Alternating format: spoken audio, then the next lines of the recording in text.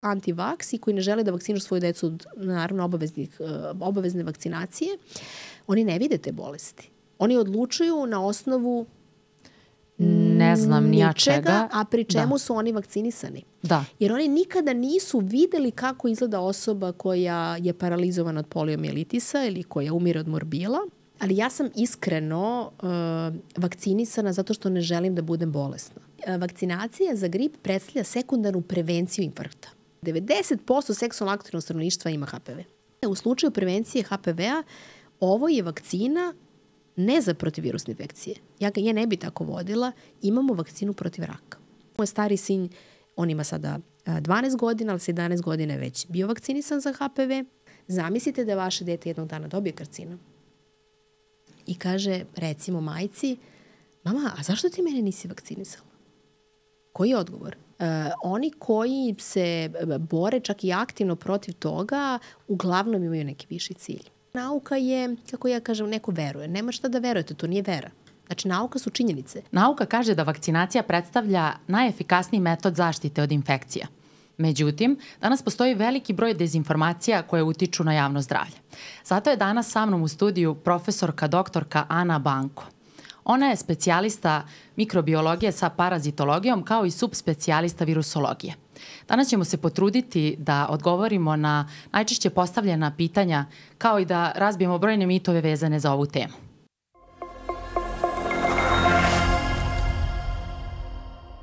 Kada bismo poželeli da svi virusi nestanu sa planete Zemlje, i a, kada bi se to ispunilo, šta bi se zapravo dogodilo?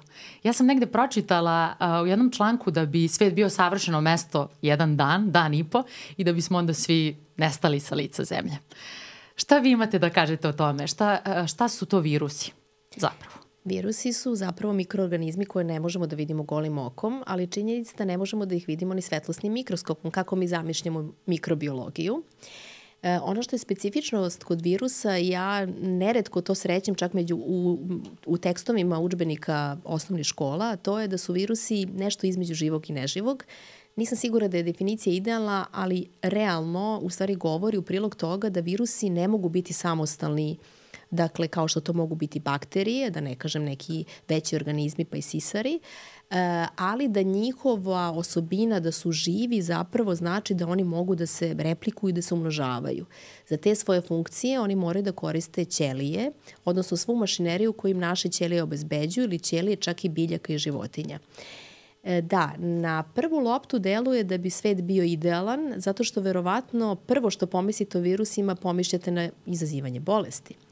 Ali u našem organizmu žive milioni virusa koji se zapravo nazivaju bakteriofagima. To su virusi koji su zapravo bakterijski virusi i koji tek u poslednjim godinama do, dokazano zapravo moduliraju sve ono što rade bakterije deo našeg takozvanog mikrobioma. Ja ću ukratko samo objasniti.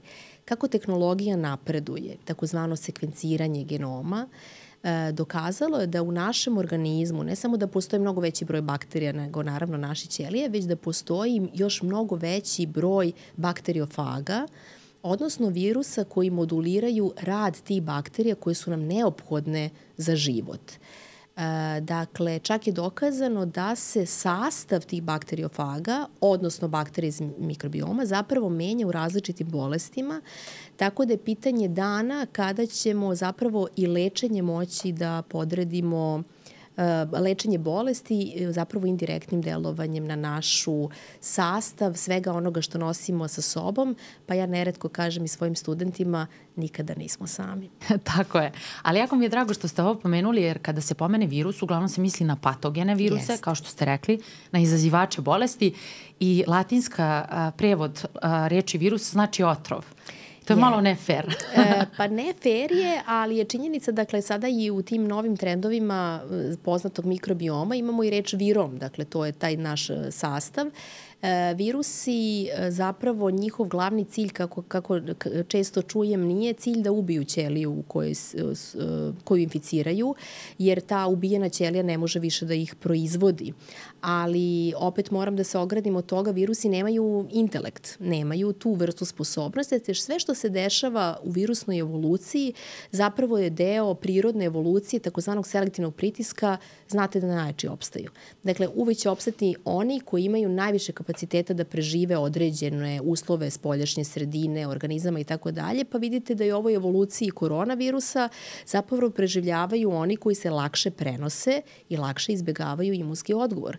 To znači da, evo, na primjer, selektivna um, ovaj, selektivni pritisak, uzmite, na primjer, žirafe. Dakle, žirafa, ko, ako joj je hrana bila mnogo visoko, opstale su one koji su bile sa dužim vratom. Uzela sam plastični primer, da, ali tako, će, tako i sa antibioticima. Dakle, rezistencija, uh, u pro, problemu rezistencije nije to da li će sve bakterije u organizmu čoveka biti rezistentne, vi ćete delovati na 99% osetljivost, osetljivih, ali ako postoji 1% rezistentnih, pa one će prevladati.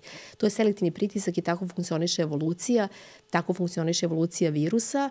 Oni koji su najsmrtonosniji, to je jako važno da se napomene, zapravo su virusi koji dolaze iz životinskog sveta i koji nisu adaptirani toliko dobro na ljudsku uh, ljudsku sredinu. Zato oni kada nam dođu životinskog sveta, oni imaju visoku stopu smrtnosti, uzmite primere bole. Pomenuli ste malo pre način uh, prenosa mhm. virusa. Mm -hmm. Koji su to najčešći putevi? Svima nam je poznato, ali da šta napravim. Je, ajde ja ću da krenemo od toga šta je najlakši put prenosa virusa. Najlakši put prenosa virusa je zapravo aerosol. To znači da on nezavisno od ljudskog kontakta i da možda virusi mogu da lebde u određene prostori, čak i onda kada inficirana osoba iz nje izađe. To je jedna od zabluda zapravo širenja, kako se i proširila pandemija, bila je zabluda da se virus prenosi samo kapljičnim putem. Kapljični put jeste najčešći vid prenosa, to znači da se zapravo kašljanjem, govorom, kijanjem, e, prenose kapljice u kojima se nalaze virusne čestice. Kapljice imaju svoju težinu, gravitaciju, padaju na određene površine, pa se rukama opet e, dodirnemo te površine i e, prenesemo virusnu česticu i to je najčešći put zapravo zato što je to način koji koristimo stalno. Uh, Sledeći takođe čest način jeste prenos prljavim rukama, kako se prenose recimo virusni izazivači ne samo ovih respiratornih infekcija, već gastrointestinalnih. A onda imate sve ostale vidove prenosa, direktni put, seksualni kontakt, prenos putem krvi, prenosa majke na dete, određeni prenos putem vektora, kao što su komarci i tako dalje, tako da i kontakt sa životinjama. Dakle, ima mnogo različitih načina prenosa, ali de facto su najčešće ove koje smo pomenuli dve stvari su mi ovde jako interesantne bile uh, pranje ruku. Uh mhm. -huh. To smo, izgleda smo naučili kao narod da peremo ruke tek za vreme pandemije. Nadam se da je se to zadržalo, ta praksa. A druga stvar, ja su životinje. Uh, nekako mi se čini da ljudi tu ne shvataju ozbiljnost svega ovoga što ste ispričali i da... Mi, smo, mi smo zapravo, mi smo zapravo deo životinskog sveta. Uh mhm. -huh. E, to znači da mi ne možemo biti izolovani od životinja, odnosno svi bolesti i infekcija, odnosno, ajde, u ovom slučaju virusa koji među životinjama kruže. E, teorije zavere e, često počinju zapravo e, odnosno verovanje u teorije zavera često počinje i nastaje zato što je ljudima lakše da svare nešto u šta, što mogu da prepričaju. Dakle, jedno je nauka, I te, težina razumevanja nauke nas dovodi u situaciju da mi lakše smo, što bi rekli, prijemčivi za nešto što možemo odmah da stvarimo, odmah da prepričamo, odmah da kažemo i što zvuči interesantno. Jer kada bi smo mi objašnjavali običnom svetu kako nastaju mutacije ili šta je transkripcija ili šta je kako deluje određeni lekovi i tako dalje, šta su receptori, antireceptori, tropizam virusa, mislim, to, to bi bilo jako teško. Uh, Dakle, zato se jako lako veruje u, u takve priče koje e, e, su virusologiji interesante baš iz razloga što virusi potiču iz životinja. E, ja bih tu pomenula zapravo jedan citat Daniela Kahemena, on je bio, ja mislim, izraelski psiholog i psihijatar, koji je zapravo rekao da um, pouzdan način da ljude uverite da je nešto istina jeste da to sto puta ponovite. To je ono, sto puta ponovljena laž postaje lako istina i da e, koliko ste puta nešto čuli i bili bliski s tom informacijom otežava vama da zapravo razlikujete informaciju od bilo kakvu informaciju pa i dezinformaciju od istine. E, ja bi se takođe ovde dotakla jedne interesantne stvari, a to je kako funkcionišu jel, softveri na našim e, pametnim uređajima, između ostalog i telefonima. Znamo vrlo dobro da kad nešto pretražujemo na Google, da će nas to sačekati na svim društvenim mrežama i pretraživačima, pa čak i ako nismo pretraživali, smo negde spomenuli. To znači sledeće. Ako vi istražujete teoriju zavere, vama će zapravo algoritam na telefonu, uzimam telefon kao primer, da vam nameće sadržaje sličnog tipa. I praktično će vas uveravati da to što vi mislite istina i da vi dolazite do nekih sadržaja na internetu koji kao nisu dostupni ostaloj mm -hmm. populaciji i vi nećete zapravo biti e, dostupni sadržajima koji su istiniti, osim ako ih fizički aktivno ne budete pretraživali. Što se tiče životinja i virusa, E, možda ljudi ne znaju, ali uzet ću primer gripa. Grip je virus koji potiče iz životinskog sveta i normalno cirkuliše među divnim pticama, pa onda dolazi, dolazi do domaćih ptica, onda tako i do ljudi. Svi koronavirusi cirkulišu među slepim miševima, a onda dolaze preko nekih drugih životinja do ljudi. HIV je virus koji potiče od životinja, zapravo od majmunskog i, i, i e, vrlo sličnog virusa. Teorije su da su recimo lovci u Africi tokom e, lova zapravo dolazili e, putem povreda do direktnog kontakta krvi sa majmunima i ljudske krvi i došlo je u nekom trenutku, statistika je čudo, znate kad se to desi milion puta, u nekom trenutku virus će, će napraviti mutaciju, se prelagodi čoveku i tako nastao zapravo HIV imate, sad da ne nabrajam, ali uh, od trute groznice, bole i mnogi drugih virusa zapravo koji dolaze iz životinskog sveta, uh, uh, gripi i koronavirusi su toliko brojni u životinskom svetu da nije neophodno da se desi neko, kako bih rekla, neki neuobičajeni incident, već je dovoljno da ti sekreti ekskreti zapravo domaćih ptica u slučaju gripa ili, na primjer, kontakt divlji ptica u farmi, e, na farmama, na uzgajalištima životinja, da dođe u kontakt sa drugim životinjama ili da dođe, kao što je slučaj teo, jedna od teorija da su zapravo ekskreti uh, određenih životinja na nekoj pijaci, dolazili u kontakt s ljudima koji se koriste za ishranu i tako dalje i tako dalje. I ja ću ovde recimo možda reći nešto što običan narod naravno ne zna, to je da se sezonski, a prošla sezona je bila tu vrlo nezgodna, uh, zapravo uništavali su se milioni brojeva domaće živine, jer su se, pojav, se pojavljivao zapravo njihov grip, e, što je e, ugrožavalo zapravo proizvodnju. I onda kada imate recimo poskupljenje na svetskom uh mhm. nivou živine o koje se koristi u ishrani, zapravo razlog je zato što su se milioni živine namerno uh, eradikovali, odnosno ubijali, zato što se to vrlo lako proširi u uzgajalištima, znate kako to izgleda, to su, to su veliki brojevi eh, zapravo domaće živine i konačno recimo pandemija iz 2009. godine nastala je tako što je eh, su u istoj prostorija, tako da kažem, na istom mestu boravili, boravile domaće živine, odnosno ptice, svinje i čovek mm -hmm. i onda je nastala razmena. U isto vreme čovek imao grip, e, svinje su imale grip, ptica imala grip. E, grip je virus vrlo interesantnog genetičkog sastava, izdeljenje, kažemo da je segmentiran i onda se ti segmenti razmene. I dovoljno je da od svih tih segmenta zapravo samo jedan bude onaj koji je za adaptaciju, odnosno za vezivanje za receptore na čoveku. Sve ostalo nosi od životinja i onda mi kao ne, e, da kažem, nepripremljeni imunski dolazimo u kontakt s takvim virusom i nastaje pandemija. Šta sam tela da kažem? e, mnogobrojni smo. Dolazimo se više u kontakt sa životinjama, pogotovo na dalekom istoku. E, I ta mnogobrojnost i kontakt sa životinjama nesumnjivo će nam donositi nove pandemije. To ne znači da su one pripremljene. Da, nema nego će se sigurno zavere. desiti. Nema teorije sigurno zavere će sada. se desiti. Da.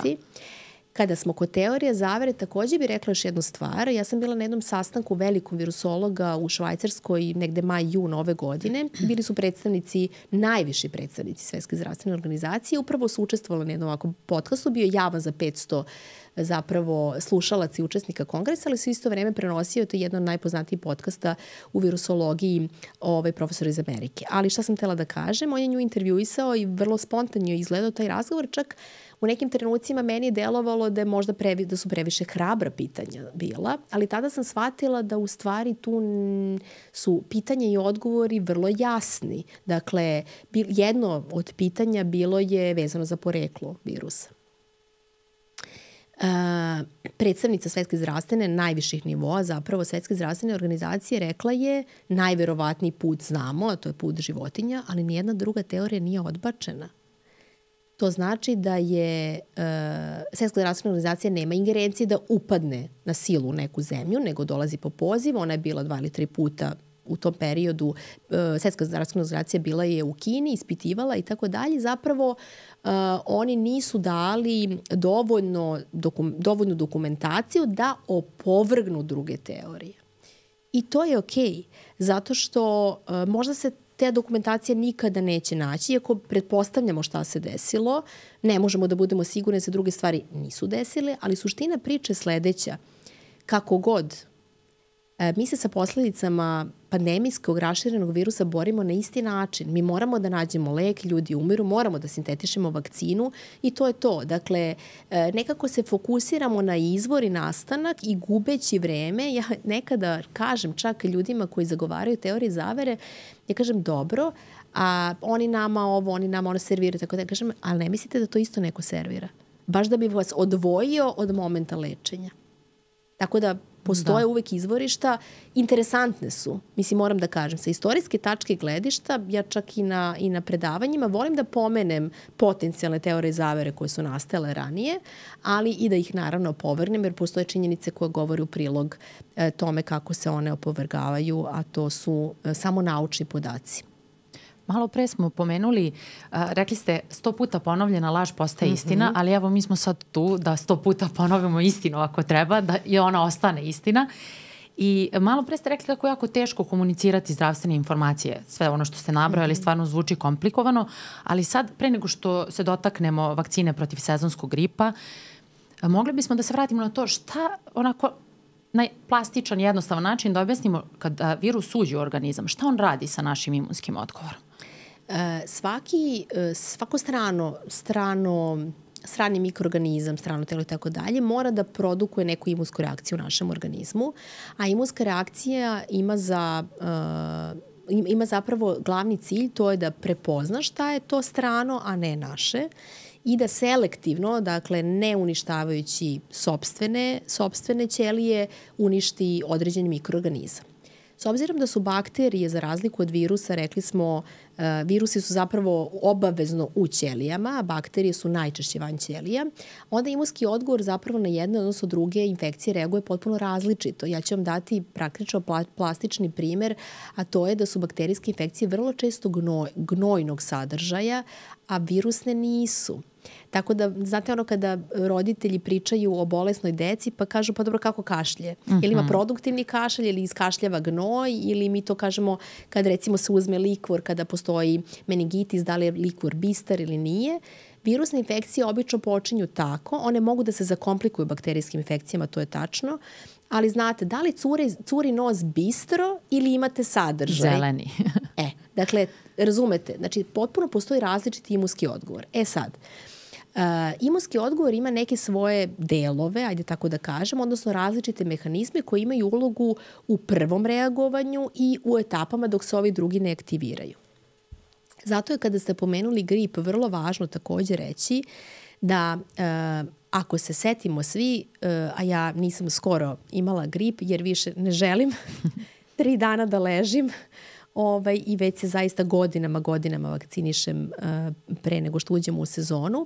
Uh, zapravo, uh, dakle, setimo se svi kako izgleda kada neko ima grip, kažu kao da si premlaćen, ne možeš da ustaneš iz kreveta, sve te boli, mišići, malaksalost, zglobovi i tako dalje, pored glavobolje, respiratorne simptoma i temperature. Bol u mišićima, ako malo bolje razmislimo i s globovima, nema nikakve direktne veze sa virusom gripa. Virus gripa je, mislim, respiratorna infekcija. Ali onda kada pogledamo, slično se osjećamo i nekim drugim bolestima, pa kažemo gripozni sindrom. To znači da iza toga svega zapravo leži naš imunski odgovor koji je nespecifičan. Znači u prva tri dana od bolesti mi moramo pokrenuti neke nespecifične mehanizme dok ne obezbedimo ostalim mehanizmima imunosti da reaguju specifično. to znači da je u biti nešto što mi zovemo interferon, interferonsko delovanje. E, interferonsko delovanje znači da se u našem imunskom sistemu sintetišu interferoni, a oni imaju ulogu da blokiraju sintezu proteina. Sada da to pojednostavimo, mada sam pokušala da bude maksimalno jednostavna. Odlično. To znači da virus ne može da sintetiše svoje proteine, ne može ni bakterija u toj ćeliji, ali ne možemo ni mi sami u tim ćelijama.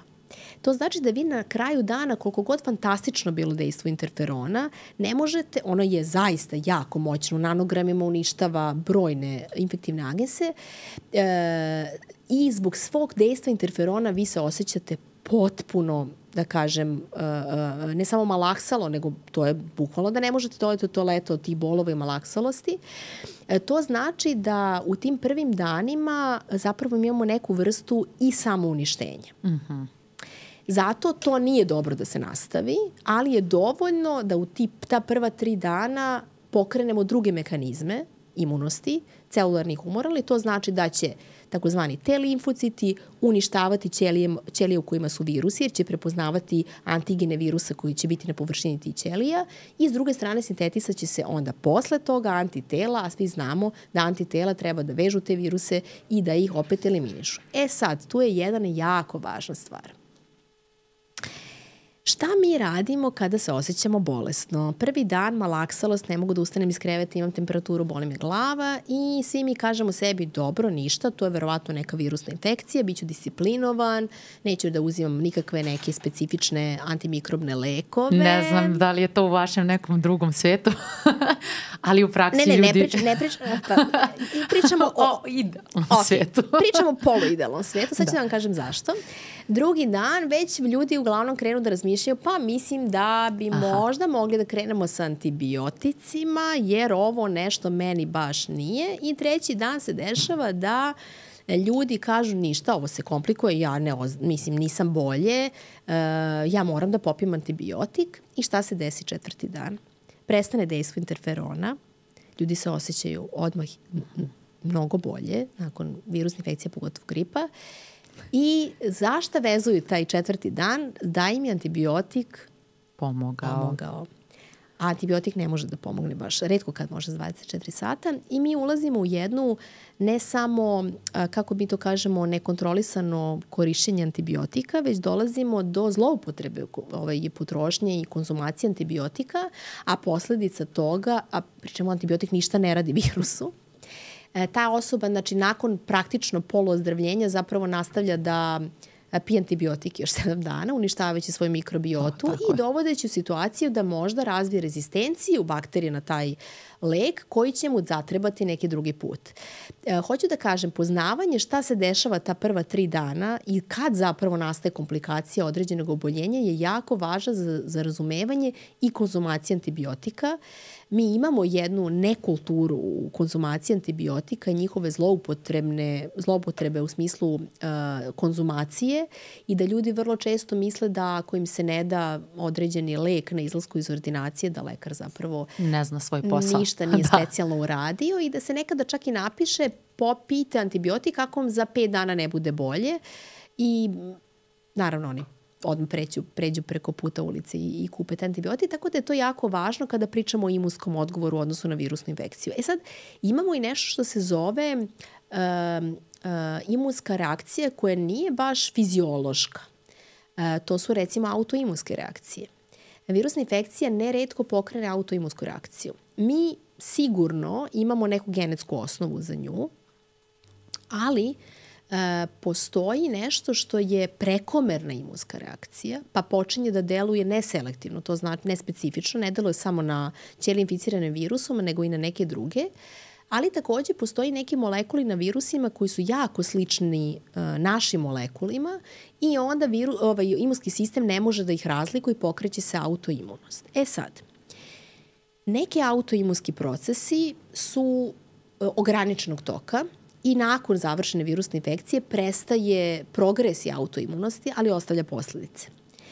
Ali se u nekim situacijama zapravo razvija hronična progresivna autoimunska bolest, pa znamo poslednjih godina revolucija zapravo posljednjih recimo dve godine jeste otkriće već naučno dokazano, iako se o tome naravno mnogo pričalo, a to je veza između Epstein-Barr virusne infekcije i uh, razvoja multiple skleroze. Dakle, dokazano je na stotinama miliona uzoraka krvi američkih vojnika Uh, možda sam pretrala broj, ali svakako milionima. I samo da pojasnimo, Epstein-Barov virus je onaj koji izaziva mononukleozu. To većina ljudi zna. Da, da se... ali se susrećemo s Epstein-Barr virusom. Dakle, većina populacije, 90% populacije do odraslog doba dođe u kontakt mm -hmm. s tim mhm. virusom.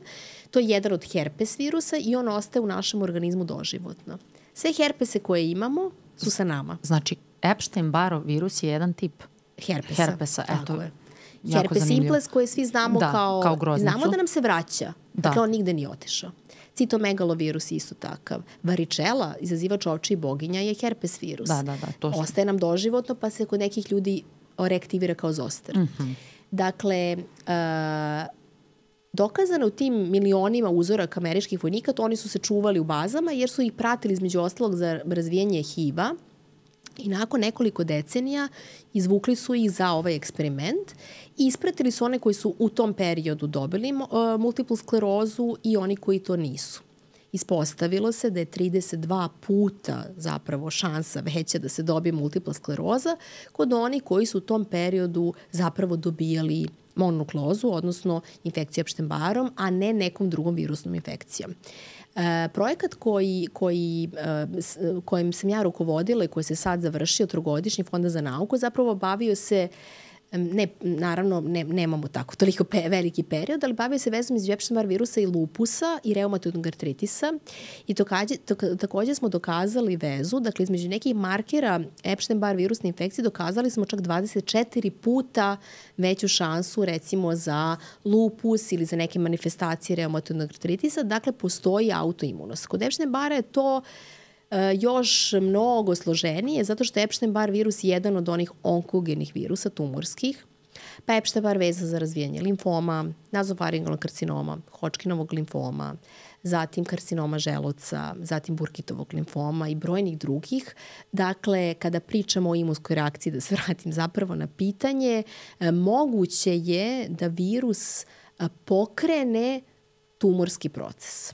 Ne svi virusi, neki kod nekih osoba udruženo sa nekim drugim faktorima, tako da su mnogi virusi zapravo se dovode u vezu sa nastankom tumora.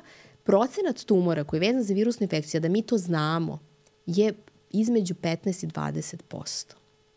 Dakle, vraćam se na priču šta je to naivna virusna infekcija. Znate, ranije se mislilo da je naivna virusna infekcija infekcija Epstein-Barr virusom, pa se ispostavilo da je on povezan ne samo sa tim brojnim karcinomima, nego sa multiple sklerozom. Sa zamislite svet u kome nema Epstein-Barr virus. Uh mhm. -huh.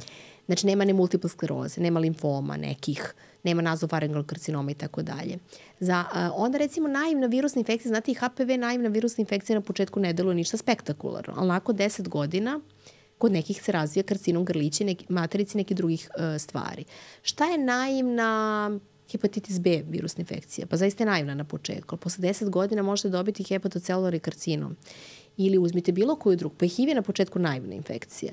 Dakle, taj pristup šta je nešto naivno, ne znači da će to i za 10 godina mhm. -huh. ostati kod virusa koje ne možemo eliminisati. Znači oni nam ostaju jako dugo. Herpes i doživotno, neki drugi virusi godinama.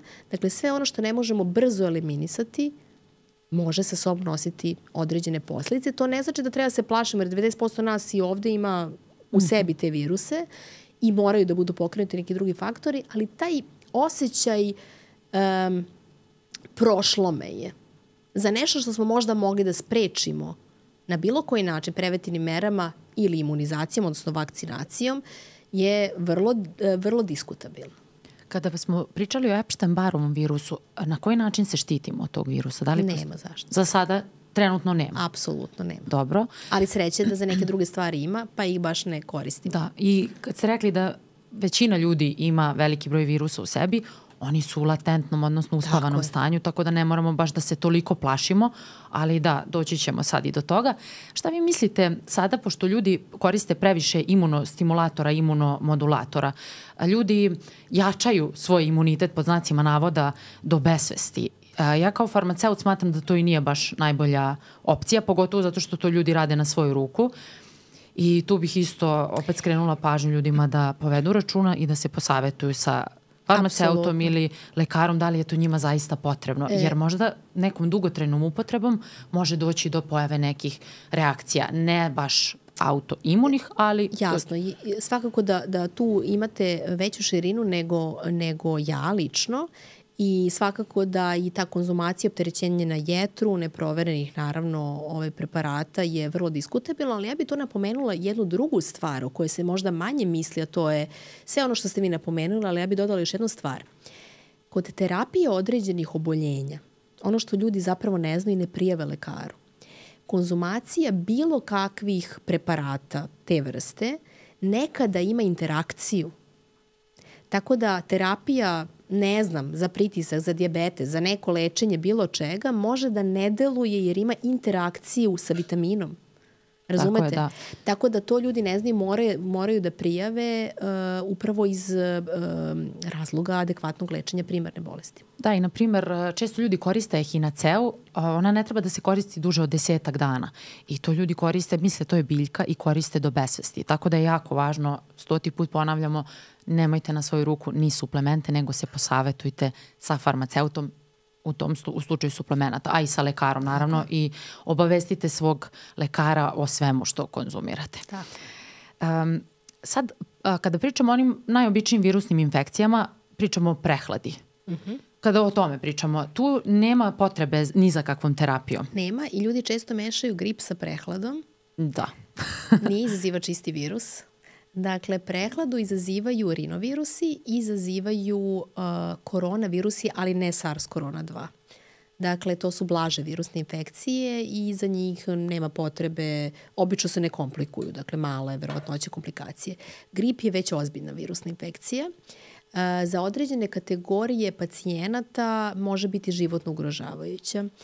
E, takođe, ono što bih ja sugerisala na neki način jeste da vrlo često kada kažemo ko je rizična populacija za određene bolesti, nekako to stapamo u jednu masu, to su stari, imunokompromitovani ljudi sa hroničnim bolestima i nekada se izgube fokusi zapravo pacijenata koji su tu prioritetni. Verovatno mnogi ljudi ne znaju e, šta radi grip u određene kategorijama stanovništva. Ja bih prvo rekla da ogromni su naravno brojevi ljudi obolelih od gripa i da je grip u svakom slučaju svojim nekim istorijskim momentima praktično menjao istoriju. Nije samo to grip, znate da je to radila i kuga, mislim, kuga je trećinu, e, trećinu stanovništva globalne populacije u određenim etapama dakle, dovodilo do smrtnog ishoda. Dakle, de facto su infektivni agensi menjali istoriju e, mnogo više nego što su to radile posledice direktno, direktne smrti od ubijanja u ratovima. E, ali hoću da kažem da, da 39% ljudi obolelih, smrtnih zapravo, pardon, 39% e, smrtnih e, završetaka bolesti gripa zapravo se dešavalo u populaciji koja je relativno zdrava. Zašto kažem relativno? Kada bismo uzeli jednu grupu ljudi, bilo da ih je 10 ili 100, vrlo bi bilo diskutabilno ko je zdrav od njih. To znači da mnogi ljudi danas zapravo ne znaju svoje, svoj backup, odnosno diagnozu. E, I mi se sada iščuđavamo zapravo nekim takozvanim iznenadnim smrtnostima sportista ili nekih ljudi, jer više tih informacija dolazi do nas. A suštinski u biti je očigledno neki zdravstveni problem koji prosto nije bio registrovan, prepoznat i tako dalje. E, zato je kod gripa jako važno da e, prevencija, osim što je po mom mišljenju, važna, ajde za zdravstvene radnike, pa ja nekako spadam u tu grupu, pa uvek mogu da kažem, pa dobro, ja sam vakcinisana sa zdravstveni radnik, ali ja sam iskreno uh, vakcinisana zato što ne želim da budem bolesna. Uh, ja, ne, ja imam decu i ona mi svakako donose svakakve infekcije i prosto ne želim da remetim svoj život ne želim da ležim bolesna za nešto što je preventabilno. E sada, kada pričamo o uh, kategorijama koje su u uh, jako visokom riziku od gripa, uh, možemo isvrstati u nekoliko kategorija. Jedno su stariji, preko 65, uh, i to je poznato. ali ono što bi ja izdvojila, što tako se stopi u masu, pa nekako stalno pričamo o tim grupama ugroženih, sve to isto, ovde su to kardiovaskularni pacijenti, diabetičari i trudnice. Što se tiče kardiovaskularnih pacijenata, ne znam da li ste znali, ali e, vakcinacija za grip predstavlja sekundarnu prevenciju infarkta. To znači da je to podjednako važno kao kad biste vi pacijentu rekli da pije antihipertenzivnu terapiju ili da prestane da puši za pacijenta koji je u visokom riziku za dobijanje infarkta. E, dakle, u prva tri dana dobijanja gripa povećava se 10 puta verovatnoća dobijanja infarkta u toku grip, gripa. 8 puta dobijanja moždanog udara. E, zamislite diabetičara. Kod njega se u toku gripa povećava šansa 75 puta da dobije nekontrolisane vrednosti šećera to, je, to su strašni brojevi. Znači, kod njih se takođe povećava šansa od srčanog, srčane insuficijencije, od, naravno, komplikacija. E, praktično će e, e, veliki broj diabetičara morati da se hospitalizuje. Svi stariji ljudi koji se hospitalizuju zbog gripe, komplikacije poput pneumonije, izaći će iz bolnice sa 20, svaki četvrti zapravo će imati pad određene funkcije. E, znate, kao što se to dešava kod e, kod starijih ljudi znamo, to nar, bolje naravno znaju kliničari, ali znamo i mi svi, kad starija osoba padne polom i kuk, uh, znamo, očekivano je da će u narednim mesecima dobiti šlog. Možda ni insult. E pa to se dešava i posle gripa. Mhm. -huh.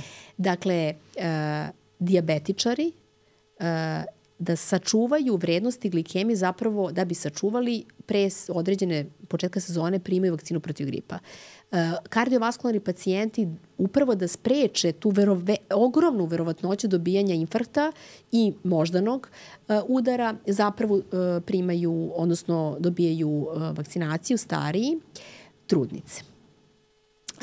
Kod trudnica se povećava stopa hospitalizacije sedam puta, ali ono što su brojevi koji bi možda više zabrenuli trudnice jeste da je čak 44% trudnica koje imaju grip u toku svoje trudnoće rađa dete koje je male telesne mase, a da se četiri puta povećava rizik od smrti fetusa.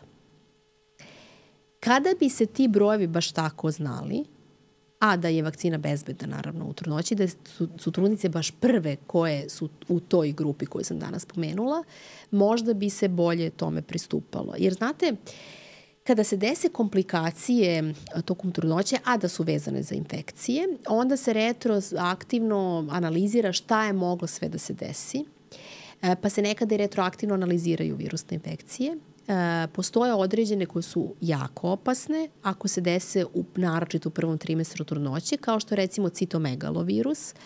Ne možemo ga sprečiti ničim, ali testiramo trudnice da li imaju antitela na početku trudnoće kao screening, to je možda poznato da znaju kao TORCH test, radili su ga. Uh, gledamo da li imaju antitela, jer ta antitela prolaze takozvanu placentalnu barijeru i štite dete, kao što bi ovako i bila i antitela kada se e, trudnica vakciniše protiv gripa. Ili da se vakciniše svake sezone ako planira trudnoću. E, dakle, e, ako trudnica dobije citomegalovirusnu infekciju u prvom trimestru, zapravo, osim onoga što sam sve rekla, postoji uh, šansa za takozvane kongenitalne malformacije, za preranu smrt ploda, ali ono što recimo interesantno za ljude, to je za majke, uh, to je da je citomegalovirusna infekcija najčešće uzročnik gluvoće novorođenčadi.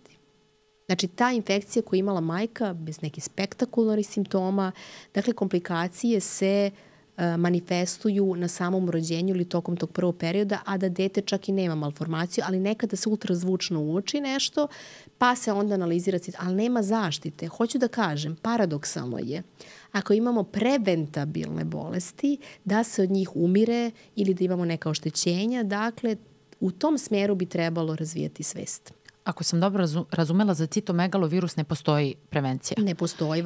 Prevencija prenosi se, ka, mislim, putem, Kapličem. pa više to putem salive, zapravo pljuvačke. Kod male dece to praktično nezaustavljivo. To je herpes virus, imamo uh -huh. ga mhm. doživotno, ali se proverava, dakle, nivo antitela na početku trudnoće, jer ako je postoji dakle, pre, prethodni kontakt, onda ta antitela prolaze placentarnu barijeru i štite dete ukoliko majka dođe do reaktivacije ili kontakta sa osobom koja to ima, ali ukoliko nema zaštitna antitela, a recimo u velikom je kontaktu sa decom ima starije dete koje je u vrtiću, dakle to nije jednostavno da se zaštiti. Teško mm -hmm. da ćete majci reći baš devet meseci da, da, ne, ljubi, da. da ne ljubi svoje starije dete, tako da ovaj, u tom smislu ne mislim da je nedovoljno sve su tome, jer kad pitate ljude na koje, vir, koje viruse znaju, oni će vam reći grip, HIV, hepatitis herpes, i evo sad će vam reći herpes simplex. i koronu. Da. Ali suštinski niko neće reći citomegalovirus da. ili vam niko neće reći Epstein-Barr virus, a to su virusi sa kojima se najugroženije kategorije pacijenata svakodnevno bore, jer uh, osobe koje imaju neadekvatan imunski odgovor, odnosno uh, imunski sistem, a to su vam recimo osobe nakon transplantacije, To su osobe i deca sa hematološkim malignitetima, dakle leukemijama, e, to su osobe koje primaju imunosupresivnu terapiju u slučajima maligniteta, onkoloških pacijenata. Oni ne mogu da se izbore ni sa tom reaktivacijom onoga što nose. I mi to, zapravo najveći deo naših pacijenata u našoj diagnostici laboratorijskoj na Institutu za mikrobiologiju i virusološkoj laboratoriji jesu takvi pacijenti.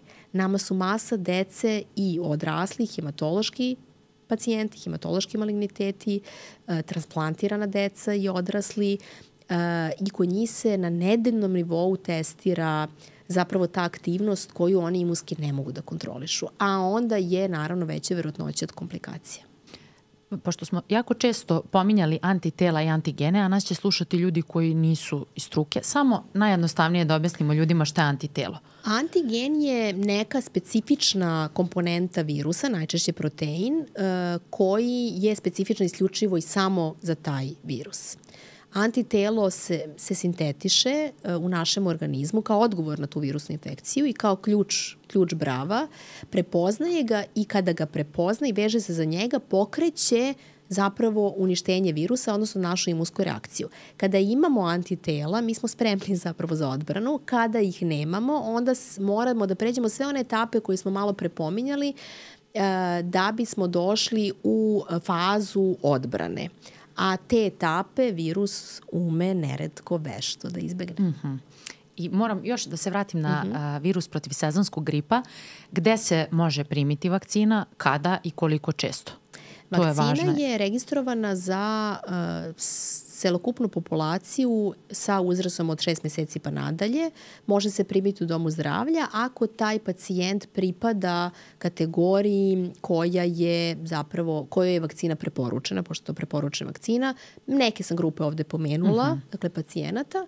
Uh, ukoliko ne spada ili ne postoji način da se primi u domu zdravlja, onda se uh, ona može primiti u privatnom sektoru, kupiti i primiti u privatnom sektoru. Sad su različite e, metode, ali recimo deca deca mogu kod pedijatra, odrasli kod e, svog izabranog ili nekog drugog lekara, tako da se u bilo kom zapravo zdravstvenom sistemu mogu primiti primarnoj ovaj, e, državnoj, odnosno privatnom sektoru.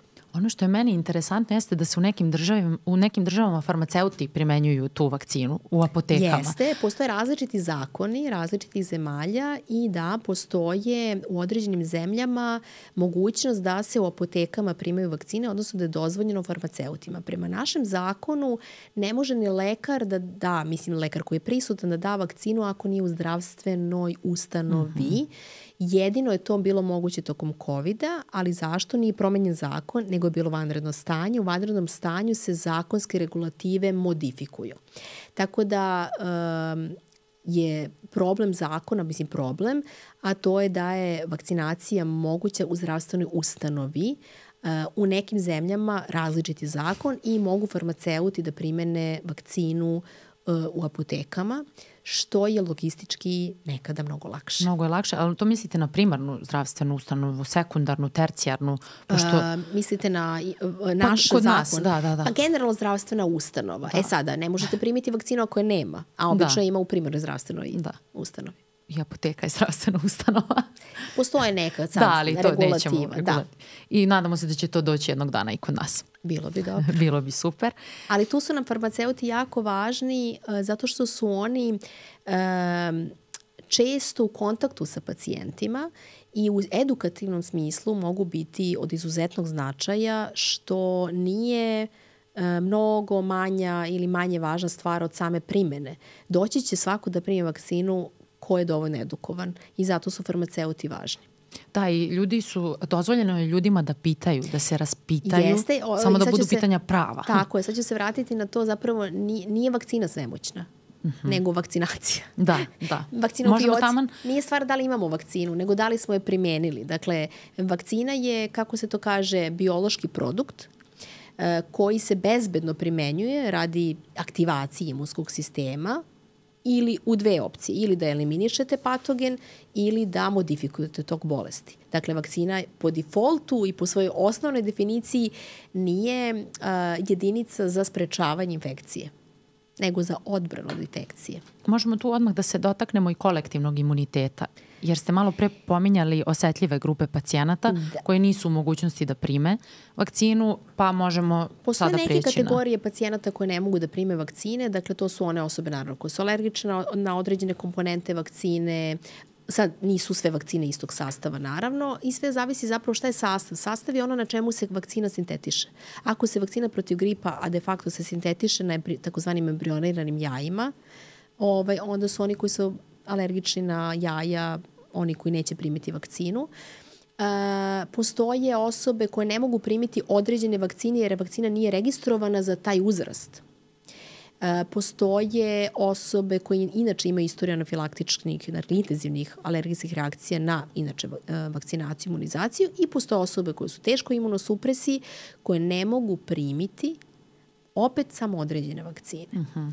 E, ne mogu primiti žive vakcine. Trudnice ne mogu primiti žive vakcine ali mogu primiti vakcine koje zadrže samo protein ili komponentu virusa, jer tu nema virusa koji se replikuje. Dakle, tu imamo razliku i tu ide evolucija tehnologije razvoja vakcina, dakle da se sa tih živih, takozvanih atenuisanih vakcina sve više prelazi na uh, vakcine koje imaju samo određenu komponentu virusa, da bi zapravo svi mogli da ih primaju. Uh, pitali ste me uh, to ko ne može da primi vakcinu zbog kolektivnog imuniteta.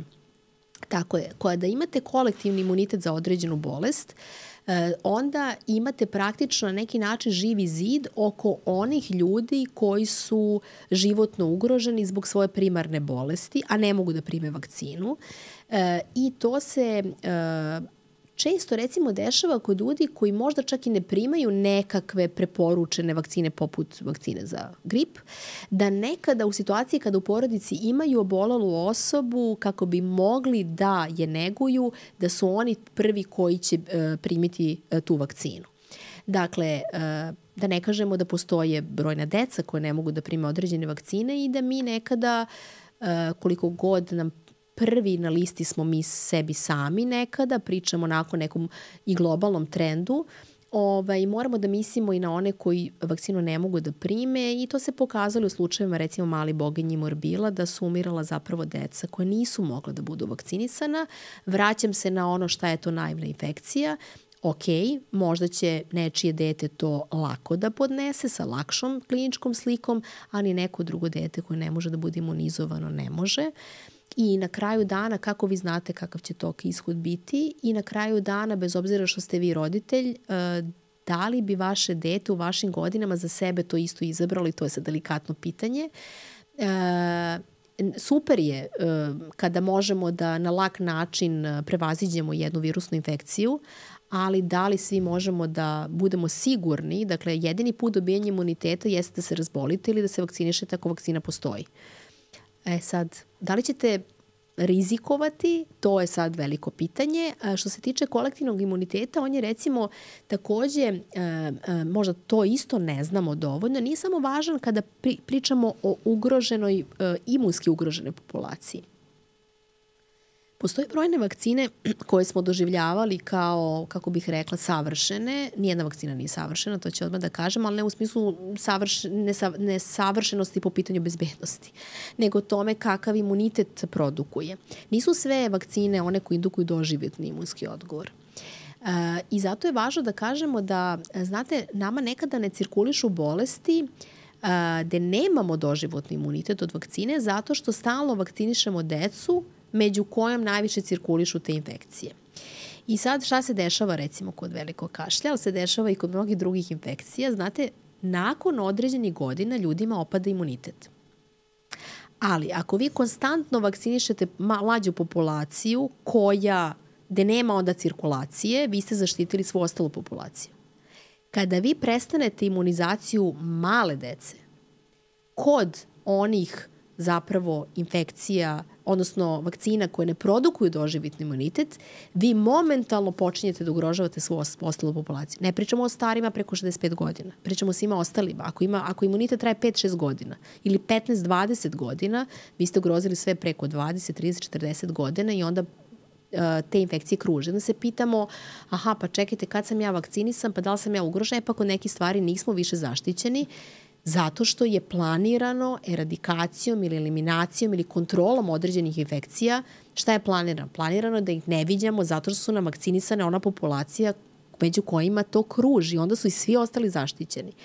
E, tako da e, e, eradikovanje, eliminacija određenih bolesti moguće je samo kod e, infekcija koje su isključivo humane, znači samo cirkulišu među ljudima, jer kontrolu imunizacije ljudi možete raditi, kontrolu, mislim, imunizacije, kontrol, e, kontrolu imunizacije životinja ne može, ne možemo vakcinisati sve životinje.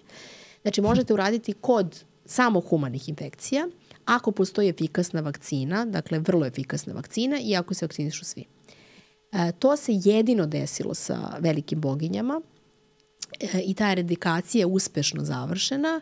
E, zbog uspešnog sprovođenja e, eradikacije i kad mi kažemo da je neka bolest eradikovana, kada nekoliko godina uzastopno ne registrujemo apsolutno nijednog čoveka na zemlji koji je oboleo od te infekcije. Šta je posledica toga?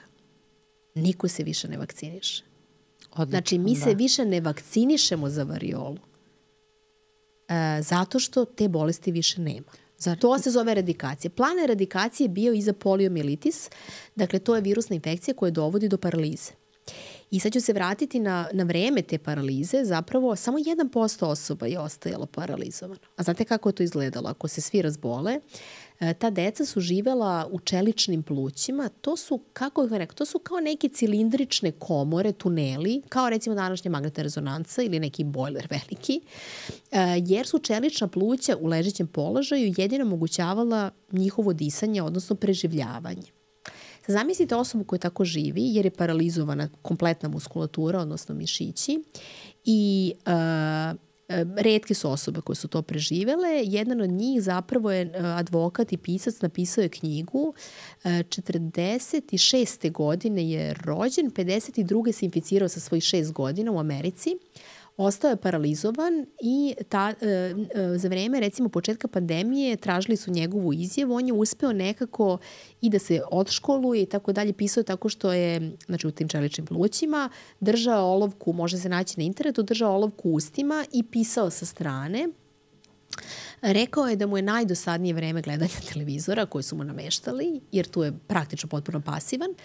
Uh, ali je rekao, e, kada su ga pitali kad je počela pandemija, rekao eto da on nije imao priliku da se vakciniše jer je vakcina neposredno, pošto on zarazio, vrlo brzo je sintetisana vakcina. Ovaj, I rekao je zapravo da mi nekada doživljamo te epidemije i pandemije kao noćne more. Ja sam to čak negde i pričala. Dakle, znate sami, vi u trenutku kada se budite, vi noćnu moru doživljavate kao potpuno realnost. Dakle, imate emotivnu reakciju na nju I onda tokom dana nekako od tog prisjećanja šta je bilo u snu dolazite do situacije da se više ničega ne sećate.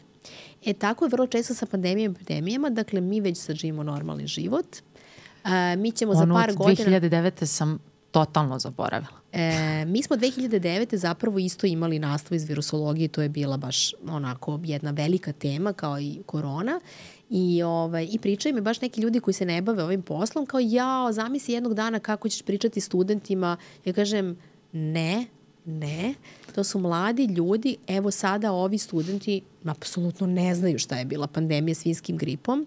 Hoću da kažem, mi kao civilizacija zaboravljamo ono što je bilo loše i e, zanemarujemo njegovu snagu, a potrebno je da iz određenih situacija izlazimo sa lekcijama.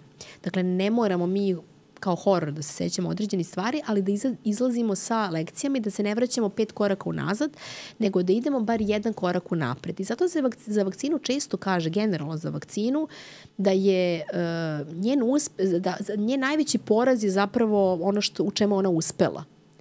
E, vakcina doživljava poraz zato što se u nju više po znacima navoda ne veruje, a to je zato što zapravo ljudi ne vide određene bolesti.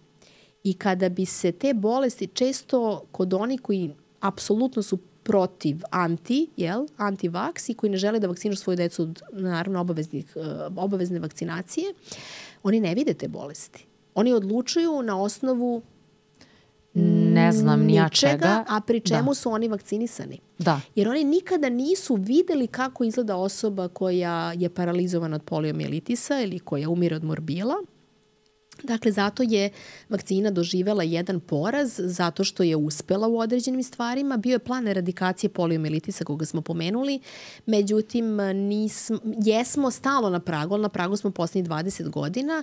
Zapravo žarišta su u nekim ratnim zonama Bliskog istoka da ne može da se sprovede do kraja sistem imunizacije i jednog dana kada se i poliomelitis eliminiše, takođe neće biti potrebna vakcinacija i to, mo, to smo mogli da uradimo i za morbile, ali avaj. Morbile i veliki kašalj, to su dve, dve različite Jesu, vakcine? Je, to su dve različite izazivača patogen, patogena, odnosno ovaj, virusna i bakterijska infekcija. Morbili se vakcinišu u okviru MMR-a. Uh, vakcina koja je odavno u upotrebi, koja jeste živa atenuisana i koja je vrlo efikasna uh, i od, zbog koje naravno je sprečena cirkulacija tri bolesti, uh, dakle morbila, uh, mumsa, odnosno zaušaka i rubele. Uh, između ostalo, to su takođe infekcije koje su, tera, imaju, neke od njih imaju teratogeni efekat, to znači da znale, znaju, trudnice, znali su i ona vremena, da ako se inficiraju recimo zauškama, da to uh, E, može biti razlog prekida trudnoće, a znamo da je kakve su posledice po sterilitet dečaka bile. Sve u svemu takve bolesti nismo odavno viđali, ali i danas viđamo. I na institutu za majku i dete Tiršove lekari govore da imaju pacijente sada od velikog kašlja, to je bakterijska infekcija, uh, isključivo zbog smanjene stope imunizacije. To su bile odlične vakcine dok se nisu, i dalje su, i onda su se pojavili ljudi koji nemaju um, kredibilitet da pričaju o tome, samo su mnogo glasni. To je ono što ste vi rekli, u redu je pitati, ali širiti tako dezinformacije. Tome Nemamo mora... mehanizam da sprečimo širenje dezinformacija. Ovo je neka uh, odbrana. U naučnom svetu osobe koje su takve stvari propagirale i dale lažne rezultate zapravo vezano za MMR i autizam, uh, su suspendovane. Odlično. U naučnom svetu taj naučni rad je povučen, zapravo nije bilo nikakve nauke. Znate, vi da biste nešto dokazali, vi morate dokazati da to radi u idealnim uslovima, dakle, kont, um, kako bi rekao, kontrol, to su kontrolisane studije, ali da vi drugoj grupi, da nemate, dakle, imate grupu gde vakcinišete MMR-om, imate grupu gde ne vakcinišete MMR-om i onda pratite da li postoji viša ili niža stopa javljanja, recimo, autizma. I to apsolutno ne postoji. Ne samo da je taj uh, čovek koji je to davno izdao, ne samo da nije imao kontrolnu grupu, on je celu, ceo rad zapravo sveo na neki desetak pacijenata, recimo 12, gde on u nekoj rečenici napomenuo da postoji pretpostavka da, da. to ima veze, jer je na, nije mogo dokazati. I sad zamislite jedan takav, jednu takvu informaciju i onda se dešava sledeće da bi se to povrgli, naučno dokazali da li to tako ili nije tako. Uh, milioni kontro, kontrola su urađeni u različitim zemljama i kad sumirate te rezultate, to su desetine, stotine miliona učesnika u tim studijama, gde to nije dokazano. U Japanu se čak desilo sticam okolnosti u jednom mestu da jedan period nisu davali MMR i da se stopa autizma povećala. Mm -hmm. Dakle, vi kada biste uzeli, ajmo sad da uzemo primjer trudnica. I kada biste ih, im dali neki novi lek, na primer, neki koji nije ni nešto, koji je naivniji, uzmite neki suplement ako hoćete. Da li biste vi to, u toj grupi trudnica imali spontane pobačaje? Imali biste sigurno. Definitivno. Da li biste imali neke komplikacije? Zavisi, da. da. Ali to ne znači to da ima jedno veze da. s drugim. Morali biste imati drugu grupu kojima to ne dajete i u kojima bi da, stopa bi... bila veća ili manja. Dakle, morate vrlo uporedive grupe da imate i to je jedini naučni dokaz. Jer ako, um, kako bih rekla, uh, ako hoćete da povežete dva događaja, uh, mislim, možemo svašta dokazati sad ovde, ovaj, da izmislimo to. I onda su nekada prosto nešto što niko sa naučnog sveta ne može da shvati, u stvari ta, tako mogućnost povezivanja, onda se pristupa naučno-studioznom radu gde se to dokazuje ili opovrgava, nemam ništa naravno protiv ako se dokaže, neke stvari se slučajno se jel, otkrivaju. Uh, u razvoju lekova i vakcina, što vi takođe vrlo dobro znate, kada god se upali alarm za bezbednost, ceo projekat se ili gasi ili se vraća na neke prethodne korake. A Tako ti koraci podrazumevaju ne samo bezbednost, onu osnovnu na životinjama pa na ljudima, već procenjuju i, i kako bih rekla, uticaj određenog doziranja, uticaj kod određenih populacija, i tako dalje, tako da je to uh, prilično kontrolisano i neredko se zapravo, u stvari, ne neredko, većina kliničkih ispitivanja zapravo ne prođe dalje. Tako je i propadne. Mislim, mnogo njih ne prođe dalje, ali to je jedini način i efikasnost. Da, nisu To je dobre. jedini način da vi ispitate da li nešto, ne samo da li nešto bezbeno, nego nešto radi ili ne radi. I onda mi je nekada, nekada zapravo bude suludo koliki to broj primenjenog nečeg, kad je prošlo sve to, je dovoljan da čoveka ubedi, običnog čoveka u bezbednost, na primjer efikasnost. Imamo brojeve, recimo za COVID vakcine, ja sam vadila neke podatke pre dva meseca, 13,5 milijardi doza je dato vakcina. Sad, evo, ako je to nedovoljan broj, ja bih volila da znam koji je to broj je li to 50 milijardi, je li to 500 milijardi milijardi, da, da, da, razumete? nije dovoljno.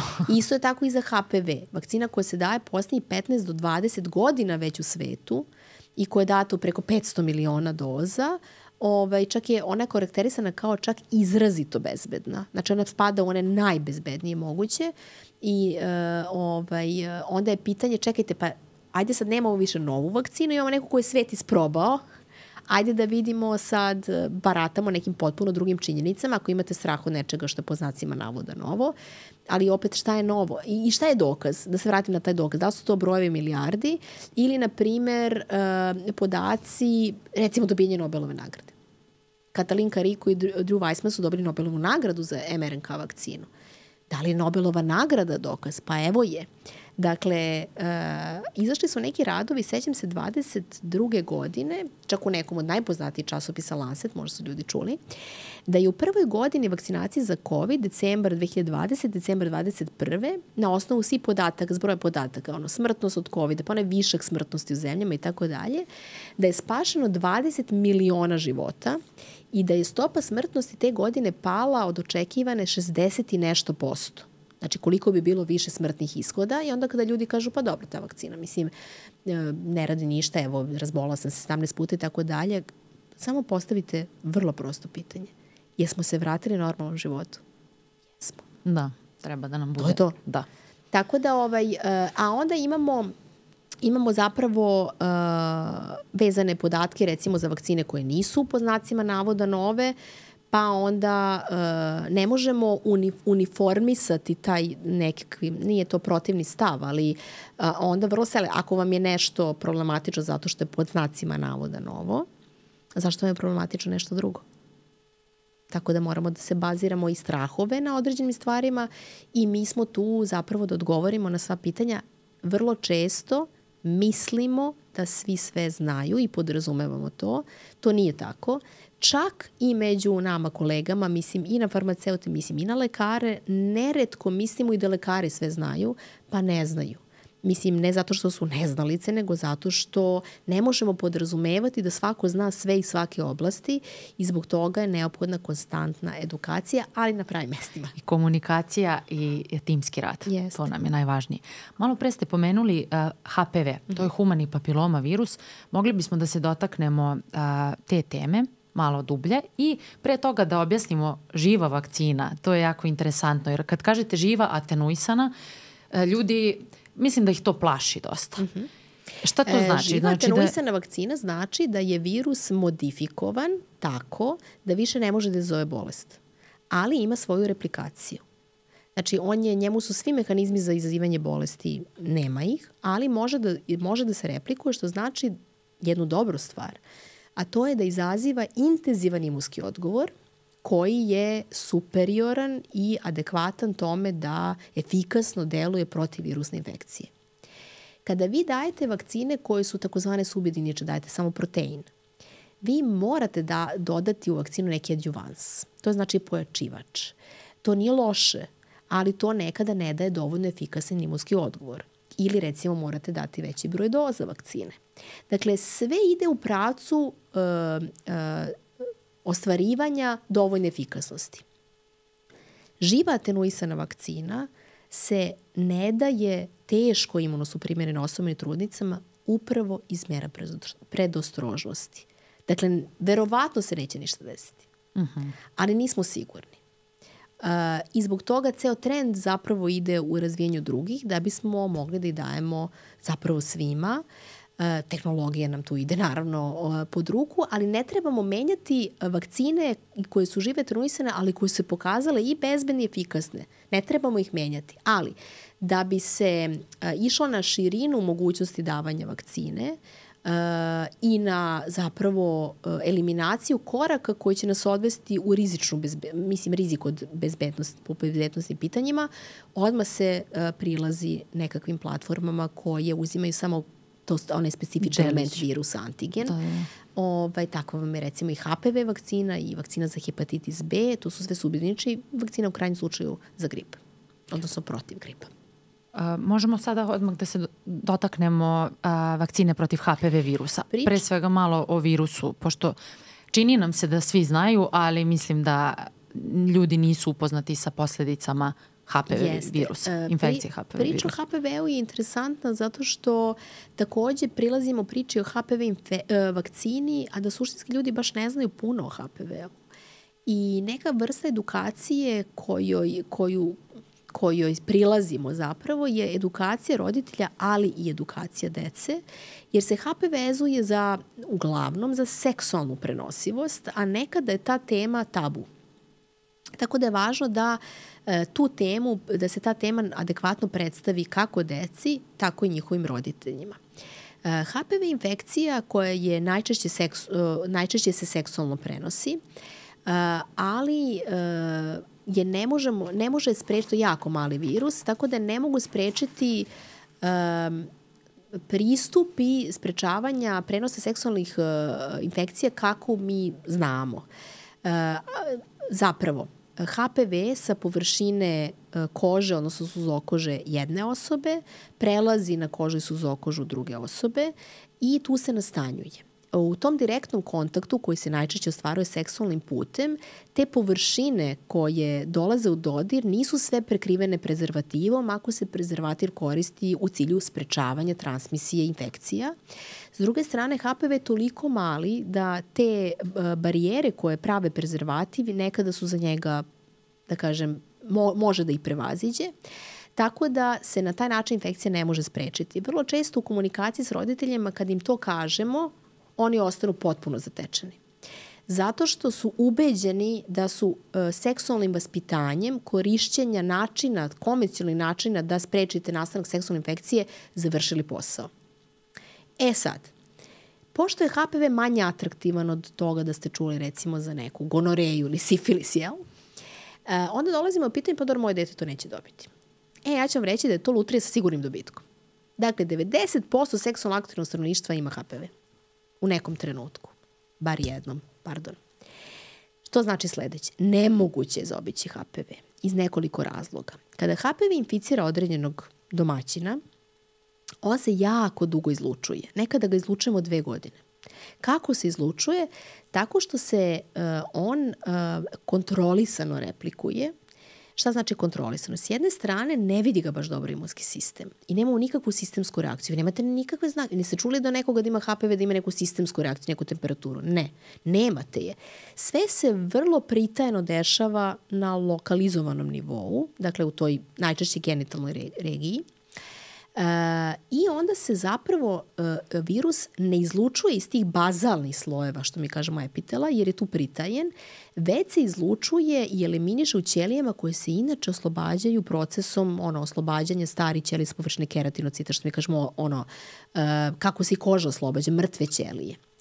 I onda se vrlo lako zapravo prenosi među ljudima. To znači, a slušajte sad ovo, nemate jedan tip HPV-a, nego više stotina, 200, 300. To znači da jedna osoba može da to, recimo, izlučuje i oslobađa HPV recimo dve godine, da u isto vreme se zarazi s još jednim, dva tipa, HPV-a, ako u to vreme seksualno aktivna osoba, mlada, recimo dođe u kontakt sa jednim, dva ili tri ili pet partnera, a ti partneri su došli opet u kontakt sa dva, tri, pričamo o nekim, dakle, kontrolisanim brojevima, možete zamisliti kolika mreža ljudi je tu inficirana sa više tipova.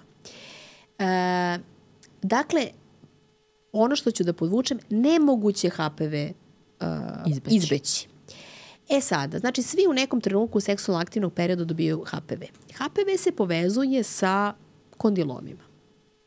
E, to su takozvani niskookogeni tipovi, najčešće 6 i 11, koji ne izazivaju karcinom, ali izazivaju kondilome i sigurno u praksi a, mlade žene, njihove čerke se susreću sa potrebama za intervencijama, skidanjem kondiloma, e, nekada su oni, e, kako bih rekla, e, naružuju izgled. Kod mladi devojaka mogu da dođu do određenih psihičkih problema jer su, ih je sramota i tako dalje.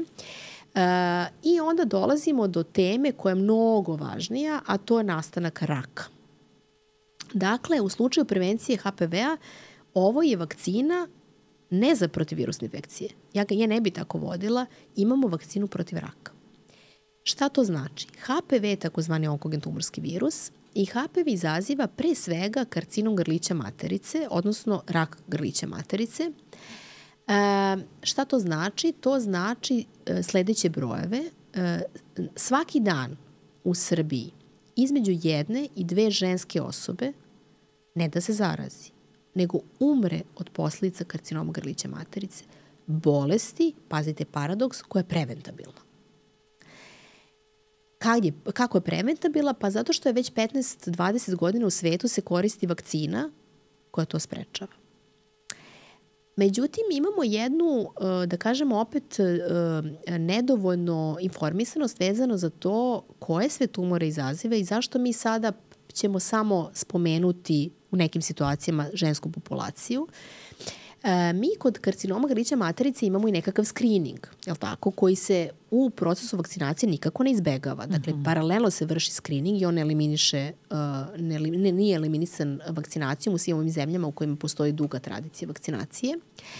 E, međutim, za sve druge karcinome s kojima je povezana HPV infekcija, mi nemamo screening. To znači da dobijanje karcinoma vagine, vulve, karcinom penisa, karcinom glave i vrata, znači karcinom laringsa, orofaringalne regije, nije nešto što ćete otići na screening. To znači da muška osoba kao i ženska, ali sad ovde se okreće muškoj populaciji, ne samo da su prenosioci, već mogu dobiti karcinom glave i vrata ili karcinom anusa ili karcinom penisa, da zapravo ni na jedan način nisu mogli da prepoznaju e, bolest u ranoj fazi, jer za to screening ne postoji. Mm -hmm. Recimo, jedna od poznatih ličnosti koje se često provlačila je Michael Douglas. Vi znate da on imao karcinom glave i vrata, e pa to je bio karcinom povezan sa HPV-om i ja ću opet ovde podvući jednu jako važnu stvar, da nekada kada me roditelji pitaju za mušku decu, moj stari sin, on ima sada 12 godina, ali sa 11 godina je već bio vakcinisan za HPV, E, je e, stvar, e, u stvari, svesni roditelji će vakcinisati mušku populaciju iz nekih opštih etičkih principa da on ne prenosi virus i da potencijalno zapravo svoje mhm. buduće partnerke ili majke svoje dece ne obezbedi nastanak karcinoma. Mi ne pričamo o prolaznim vezama nekada. Mi pričamo o jednoj fazi života kada upravo ta muška osoba je mogla toj svojoj partnerki da obezbedi siguran karcinom. Međutim, kada ja pomenem njima da je, i to nije bio, je, naravno da jeste veliki, ali da to nije primarni razlog vakcinacije muške dece. Ja sam svom sinu dala vakcinu, odnosno dakle, odvela ga na vakcinaciju, da bi sprečio nastanak raka druge, druge vrste. Dakle, a onda i da on ne bude prenosila za druge osobe. Dakle, i naša muška deca mogu dobiti rak. I zašto to ne bi sprečili? E, postavlja se pitanje u stvari kad vakcinisati decu. E, vakcina je besplatna od 9 do 19 godina o trošku Republičkog fonda za zdravstveno osiguranje I nema taktike. Zatim, roditelji taktiziraju, pa kažu, pa dobro, sad je rano, možda sa 12 je rano, 13, 14, 15, pa kad? A što je rano? Sve studije koje su merile nivo antitela od e, trenutka vakcinacije do sada, ta klinička ispitivanja, predklinička ispitivanja i sve ove takozvani real data, znači realni podaci zemalja koji to koriste 15 godina, od 2006. godine, ustanovili su da ne postoji trend opadanja antitela. Znači, dosadašnji podaci govore sledeće.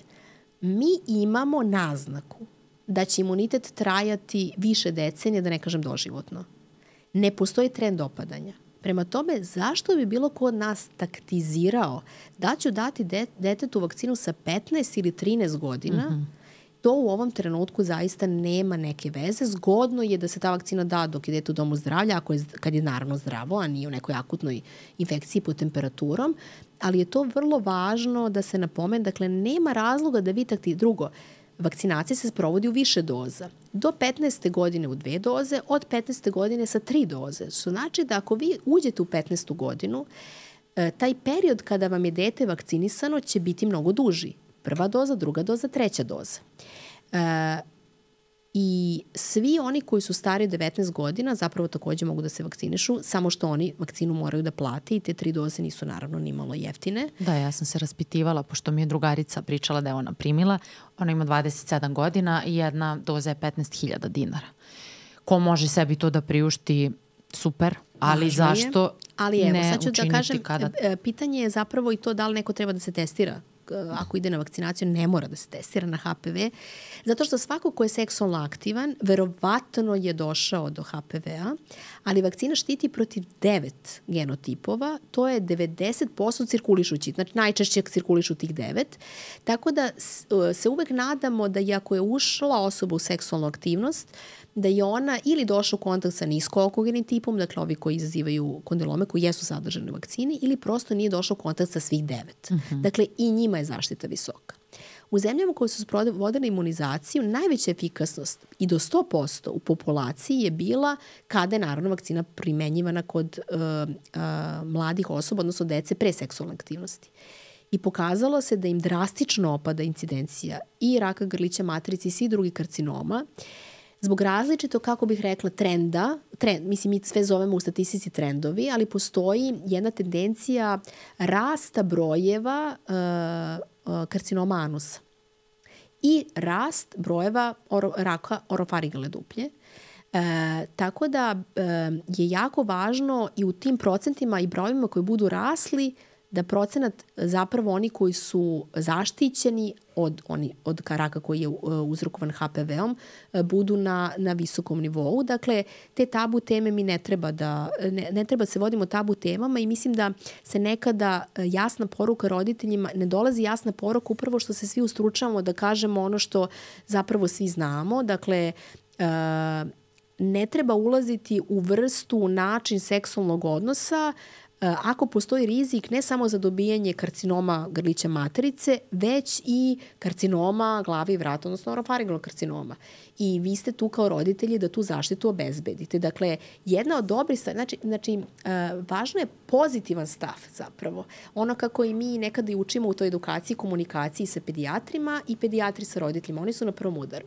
Znate, vi, roditelji koji je zainteresovan, vi ćete odgovoriti na sva njegova pitanja, ali na kraju ćete reći, ali vi danas činite nešto dobro za svoje dete Znači, kada sam ja završila imunizaciju, a još bi bilo naravno intenzivnije da, da, da kod ženske, vakcinacije ženske dece jer je vezano za jedan vrlo frekventan karcinom, vi ste taj dan ili u tom periodu, vi ste rekli, ok, ja sam zaštitio svoje dete od jednog od najrasprostranjenijih karcinoma u Srbiji. Pa zar nije to dobra stvar? I imamo obrnut paradoks. Zamislite da vaše dete jednog dana dobije karcinom. I kaže, recimo majci, mama, a zašto ti mene nisi vakcinisala? Koji je odgovor? Zbog čega?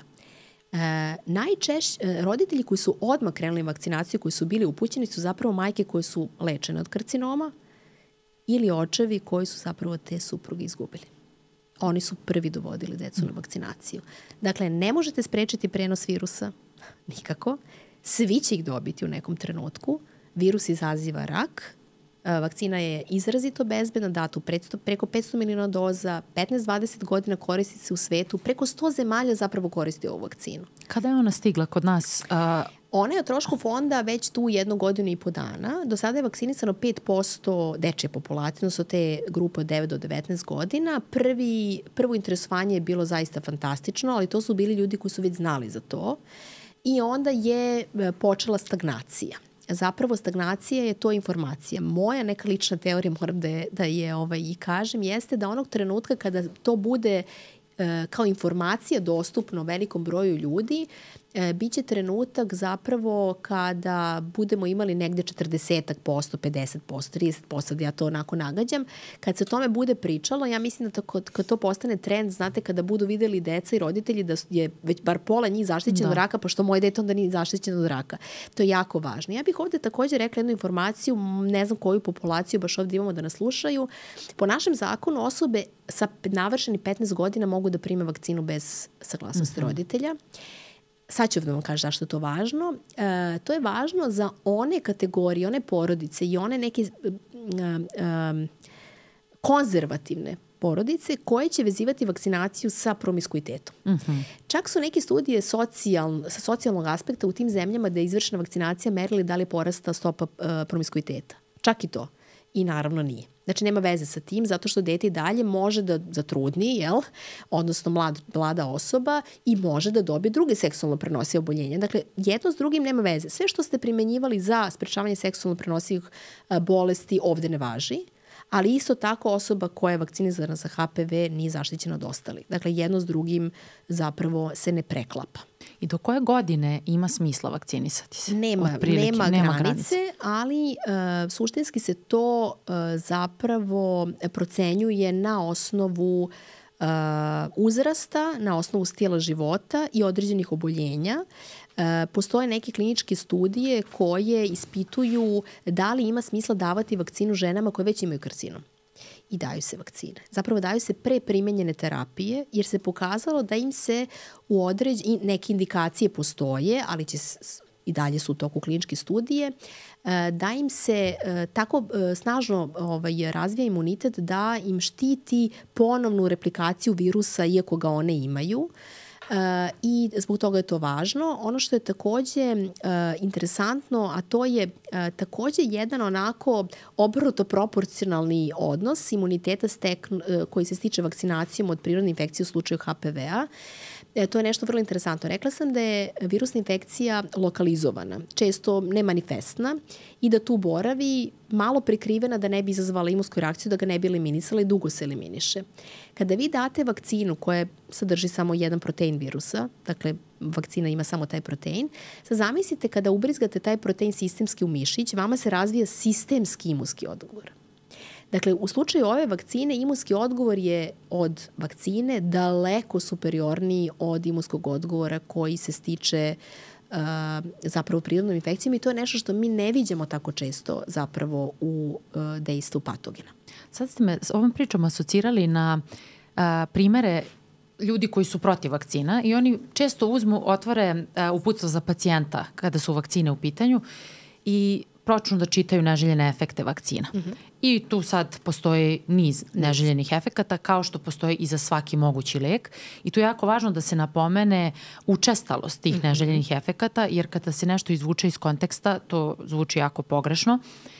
I ono što je meni zanimljivo jeste da a, bi pojava tih neželjenih reakcija svakako bila mnogo učestalija i te neželjene reakcije bi bile mnogo ozbiljnije i burnije kada bi došlo do prirodne infekcije tim? U ovom slučaju se vrlo često, recimo kod HPV kad se to pomenuli, se vrlo često uh, među roditeljima postavlja pitanje da li to utiče na sterilitet. Uh mhm. -huh. A suština je obrnuta. Vi ovime čuvate, čuvate zapravo uh, fertilnost. Uh, Zato što vi ovime štitite genitalni trakt od potencijalnih intervencija, skidanja kondiloma, konizacija i svih onih intervencija koje se, razvi, koje se zapravo primenjuju u terapiji prekanceroze, kanceroze, kondiloma i tako dalje. Znači, vi zapravo HPV vakcinom čuvate čuvate mogućnost da plodnost, ajde kako to ovaj, širi auditoriju može razumeti, dakle potpuno obrnuto mm -hmm. zapravo. Naravno da su se poslednjih 15 godina u svim tim zemljama zapravo i merile stope prirodnog priraštaja. I naravno da nema, znači ne, on, tamo gde se primenjuje vakcina jako, če, ja, e, bože, jako često, dugo u velikim brojevima, a to su procenti uspešnosti, znači kad imate preko 90% uh, vakcinisane populacije, zapravo nemate prema prirodnom priraštaju nikakve razlike, a to je direktno uh, ono što, što je pokazatelj da li ima veze.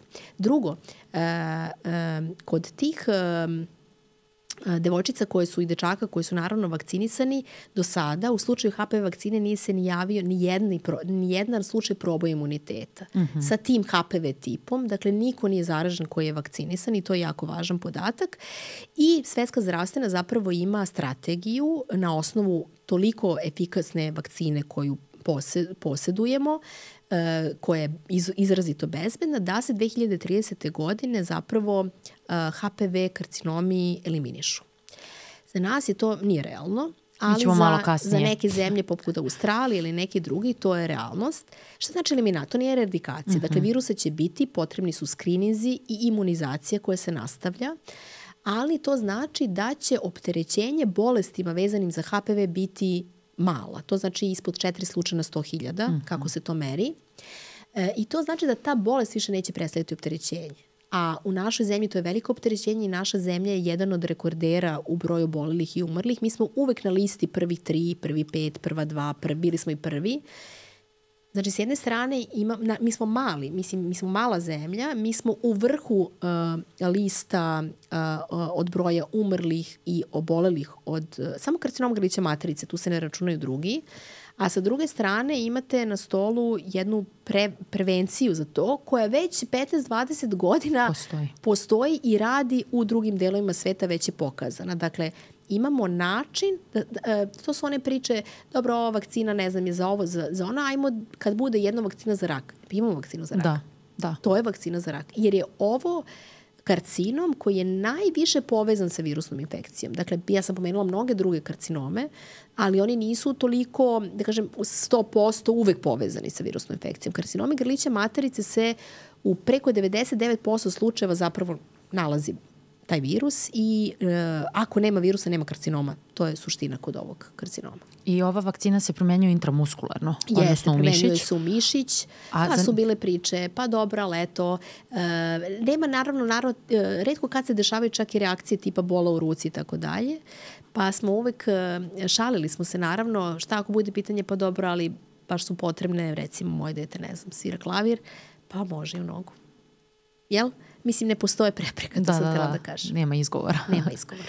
A postoje još i drugi načini za primenu vakcina, to je Inače, zanimljivo. Inače, postoje drugi načine, da, to je recimo upravo ta za polio i tako dalje.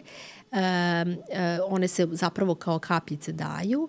E, postoji nešto što u budućnosti ćemo e, primenjivati kao, nadam se skoro, intranazalnu vakcinu. Uh mhm. -huh to će biti vakcine koje će u nekoj vrsti spreja da se daju nazalno i imaće veću snagu sprečavanja nastanka infekcije kod respiratornih bolesti. Nije lako ih napraviti, deluju prilično naivno, dakle moraju da budu efikasne i sistemski lokalno, imaće, imaće prednost zapravo zbog toga što će štutiti sluznicu naravno i od kontakta od tog prvog, dakle da spreče nastanak infekcije.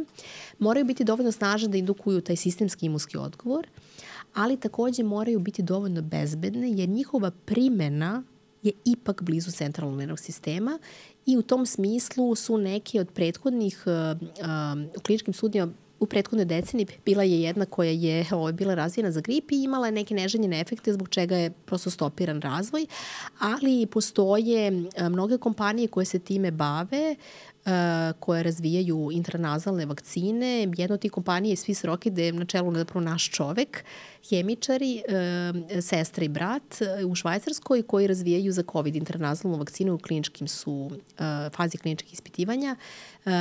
Mnoge druge, naravno, infek, mnoge druge vakcine za različite bolesti. I sad je pitanje da li možemo dati takozvane te lokalizovane vakcine da sprečimo recimo nastanak herpes virusnih infekcija o kojima smo pričali. Delikatno je poprilično jer su oni povezani i sa tumorima i sa autoimunskim bolestima, tako da je to vrlo delikatno, ali na platformama mRNK vakcina postoji e, takođe faze razvoja za Epstein-Barr virus i tomegalovirus, ali vidjet ćemo šta na budućnost nosi. Ja samo zamišljam recimo ako se desi vakcina protiv EBV, ne kažem, nećemo imati u krajnjem slučaju multiplu sklerozu, ali e, e, epohalno otkriće e, HPV vakcine da nemamo karcinom kralića matrice i sve druge karcinome već bila i pokazala se kao dovoljno velika, tako da ovaj, nešto imamo, nešto čekamo, ali ono što imamo onda treba i da primenimo. Toliko naučnih istraživanja, toliko otkrića i opet kod nas nije dovoljan uh, stepen uh, imunizacije uh, za ja zaista, neke. Ja zaista ovde u slučaju HPV-a mislim da većina ljudi nema, nije dovoljno informisana. Uh, e, i da zaista ne znaju ovo što, što, o čemu smo pričali, da će svako dobiti, da ne može da se spreči, da može da nastane karcinom raznih vrsta i da ne možete to ovaj, u krajnjem slučaju da, da sprečite ni jednim drugim načinom nego vakcinom, da je izraz, izrazito bezbedna, da je besplatna. Znači to što je besplatno je takođe važan važna stvar za roditelje, jer su mnogi ranije, znajući značaj te vakcine, zapravo je kupovali u stranstvu pa donosili u našu zemlju i vakcinisali decu mnogo pre ovoga. Takođe, ovo je devetovalentna vakcina, zapravo najbolja na tržištu, pre toga su roditelji davali dvovalentne i četvorovalentne, dok se nije razvila devetovalentna. E, tako da mislim da tek sa dovoljno informacija tih ključnih desetak u krajnjem slučaju, mislim da bi bilo dovoljno za većinu roditelja da takvu odluku naprave. E, bilo bi naravno dodatni pitanja, ali mislim da ovih nekih 5 do 10 ključnih informacija su one koje uh, uh, do, donose ovaj, odluku, Promena. odnosno tas da. na vagi, gde se čak i u stvari ne dovodi u pitanje ona Druga zašto bez, ne. Da, da, jest. da, da potpuno je bezbedna, ali generalno pričamo o vakcinaciji. sad ćemo yes. se malo i dotaći anti-vaksera, odnosno ljudi koji su protiv vakcina. Oni su baš glasni. Već sam ih pomenula, ali moram opet jer jako su glasni i evo ovo je neki način da mi promovišemo nau, naučne činjenice, nije to neka zamisao, imaginarna misao neka naša, nego ovo su naučne činjenice i njih to nije nešto u šta možemo ili ne, ne moramo da verujemo, one postoje i to je to. E, da, jesu glasni, to je tačno. Ovaj, mi generalno uglavnom nemamo prosto taj stile, nemamo potrebu ubeđivanja na taj način. Um, e, činjenice prema nekim istraživanjima uh, jesu da je zapravo to jako mali procenat ljudi. Da, ali su jako, I da je veliki glasni. procenat ljudi oni koji je neodlučno. I ja vrlo često volim da kažem da ljudi koji ne prime određenu vakcinu uh, nisu antivakseri, već se, su kolateralna šteta. Jer su na udaru svi tih informacija i zaista kako oni da odluče. Dakle, jedini način uh, zapravo, selekcije, zapravo je selekcija informacija i uh, pristup uh, izvoru, dobrom izvoru informacija. Pa onda je sad pitanje koji, kako da birate izvor informacija. Pa ako neko ima podatke koje vam nudi ili se time bavi svaki dan, to je osoba u koju i saberete dva, tri takva izvora, osobe ili izvora nauča i tako dalje, onda je to neka dobitna kombinacija. Uh, ja lično ovaj, smejala sam se, bilo je aktualno i za vreme COVID-a i Twitter komentari i tako dalje, kako ja znam nešto o virusu ili o PCR-u ili ne znam ja čemu, pa zato što sam virusolog. Mislim, hoću da kažem I godinama da, se pa, ali hoću da kažem, uh, ne samo da sam u kontaktu sa uh, diagnostikom pacijenata, bavim se naučno time i krajnjem slučaju sam obraz, obrazovno vezana za to, za edukaciju, ali opet navodim i neke druge ljude, jer nikada ne, mogu, ne bi mogla preporučiti terapiju za lečenje određenih oboljenja srčanih pulmoloških, niti sam se time ikada bavila, jer ja to ne znam dovoljno. Znači, um, i onaj koji se bavi medicinom ne zna medicinu skroz i držanje nekakve svoje oblasti je ključ zapravo za, za razumevanje i onoga ko sluša i onoga ko priča, tako da i mi među kolegama zapravo volimo da razmenimo mišljenje zajedno da dođemo do zaključka, ali tako što će svako iz nekog svog domena moći da da najbolje od toga ili najaktuelnije u smislu tih saznanja. Ako je izvor uh, uh, osoba ili sajt ili portal ili kako god koja zna sve o svemu, to je apsolutno nemoguće. I bez toga, bez podatka koji bi to potkrepio, bez naučnog podatka. Vi kada biste sad ukucali recimo HPV vakcina, vi biste začudili koliko naučnih publikacija na tu temu ima. Neko je radio te naučne radove. Te naučne radove neko validirao, neko je to pregledao, neko je dozvoljavao da se oni objave. I na kraju dana, ono što je netačno, kada dođe u eter, kada mi to pročitamo, to se povuče, taj naučna publikacija se skine, dakle ništa nije, kako bih rekla. I drugo, nauka je, kako ja kažem, neko veruje. Nema šta da verujete, to nije vera. Znači, nauka su činjenice i činjenice su promenljive. I toga se ne treba plašiti. Ono što je bilo činjenica pre 10 godina je, može da bude modulirano, jer smo zahvaljujući tehnologiji došli do nekih dodatnih saznanja.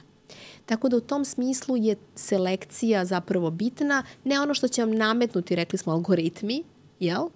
Ovaj, uh, jer algoritmi, mi, interesantno mi je to generalno, ja, ja se time ne bavim, ali interesantno mi je kako algoritmi vrlo lako primete ne samo sadržaj, nego stil.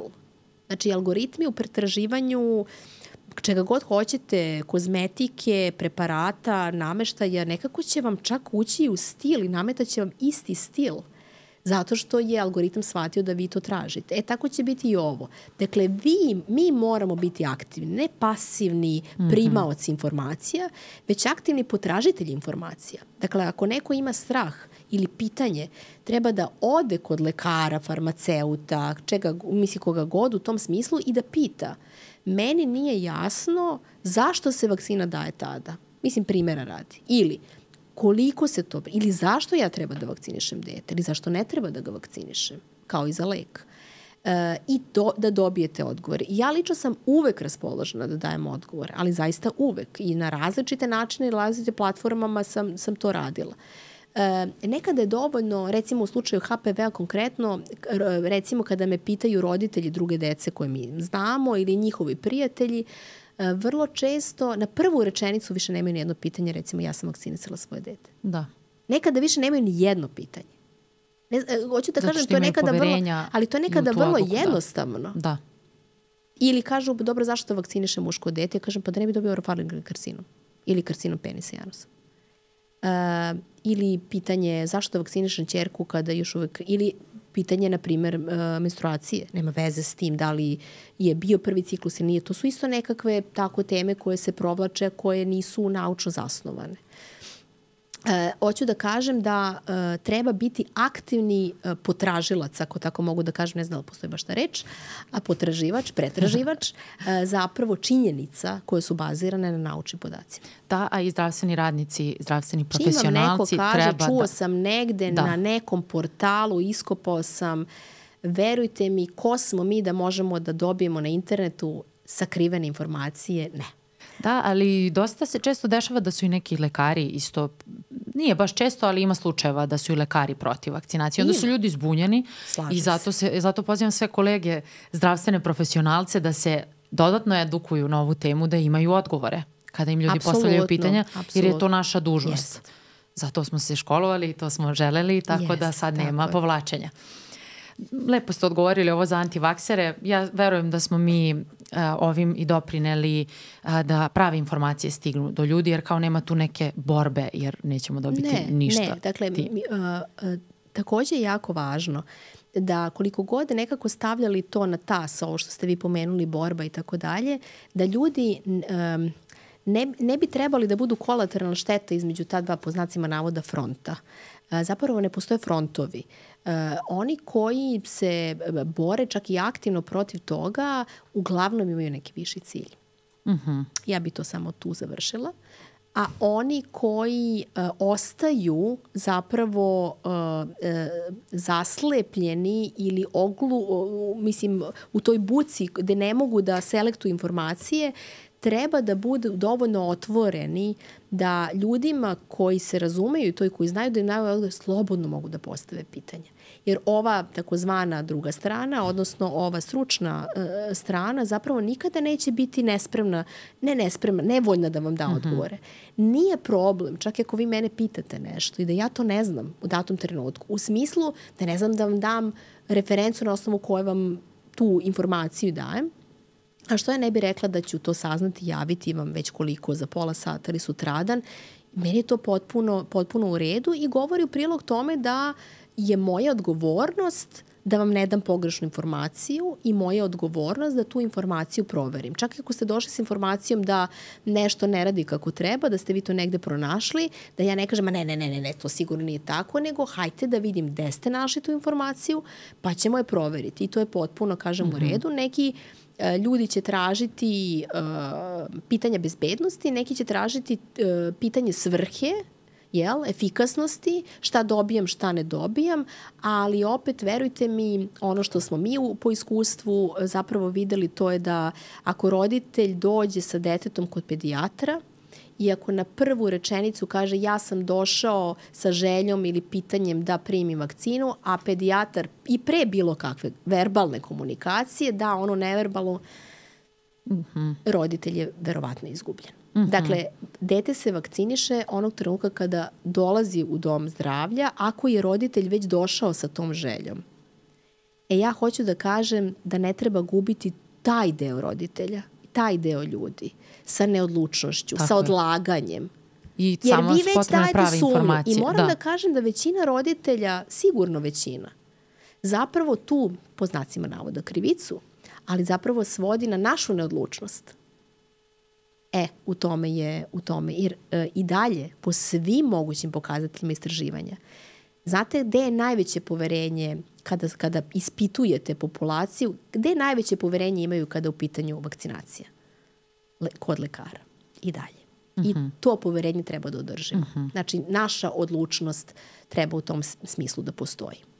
Još jedno pitanje koje mi se jako često provlači jeste, a, pošto je skoro bila pandemija i tu su bile prisutne vakcine protiv a, koronavirusa i ljudima, ljudima nije bilo jasno kako je moguće meni je vrlo jasno, ali da pokušamo da im objasnimo kako je moguće da se vakcina tako, pod znacima navoda, tako brzo razvije. Pa upravo sam to želela i provukla kroz moje, moj, e, moju konstataciju zapravo da je dobijena Nobelova nagrada, pa ne može ni Nobelova nagrada tako brzo da se tako dobije. Je. to znači da je ta Nobelova nagrada zasnovana na decenijama istraživanja. Ali ne samo Katalinka Giko i ovo, Drew Weissmana koji su dobili, nego zapravo gomile, stotine istraživača koji su na tom polju radila. Ne mislim isti, to su različiti timovi. E, kada se istraživala mRNK, zapravo ona se istraživala potpuno druge svrhe. Niko nije mislio da bi ona mogla da se uključi u vakcinaciju, čak ni imunizaciju. Bilo je užasno kompleksno održati, RNK je nestabilan molekul. I smatralo se da je to neodrživo u proizvodnji, da nema smisla da se to pravi. To se ispitivalo iz nekih potpuno drugih razloga. Onda je uočena potencijalno medicinska implikacija, tek kasnije u cilju imunizacije e, i zapravo potpuno različiti timovi e, koji su čak ispitivali RNK su pre, se prešaltavali, što bismo mi rekli, na DNK, jer je DNK stabilniji molekul. Ovaj, ali suština je da vi zapravo RNK molekulom ubacujete jednu samo informaciju koja se istog trenutka briše kao kad biste vi dobijali, tu su mi interesantni ti ljudi koji dobiju poruku pa odmah brišu, ovaj, ili mailove, ovaj, kada biste vi odmah momentalno znači, pročitali, konstatovali informaciju, skrenuli u realizaciju te informacije, a tu informaciju odmah odbrisali. E, dakle, RNK se odmah degradira, a naš, e, pošto ste konstatovali tu informaciju, zadatak, krećete da proizvodite taj protein mm -hmm. koji onda ima ulogu u proizvodnje antitela koje smo objasnili. I to, to je MRNK. I sad ta MRNK platforma se razvijala decenijama sa, kažem, timovima istraživača različiti koji su na tome radili i ona već kao platforma postoji u određenim imunizaciji, recimo za bolu i tako dalje, ali je takođe u procesu razvijanja raznih karcinoma i drugih bolesti, infekcija, e, ovaj, ne samo virusnih, nego i nekih drugih, e, tako da to nije ništa novo. Šta je moglo da se ubrza u pandemiji? Prvo trebala je urgentna intervencija, znači u tom smislu urgencija podrazumeva i korišćenje nečega što nije 100% efikasno, ali ja bi se vratila na početak, ona je bila idealno efikasna.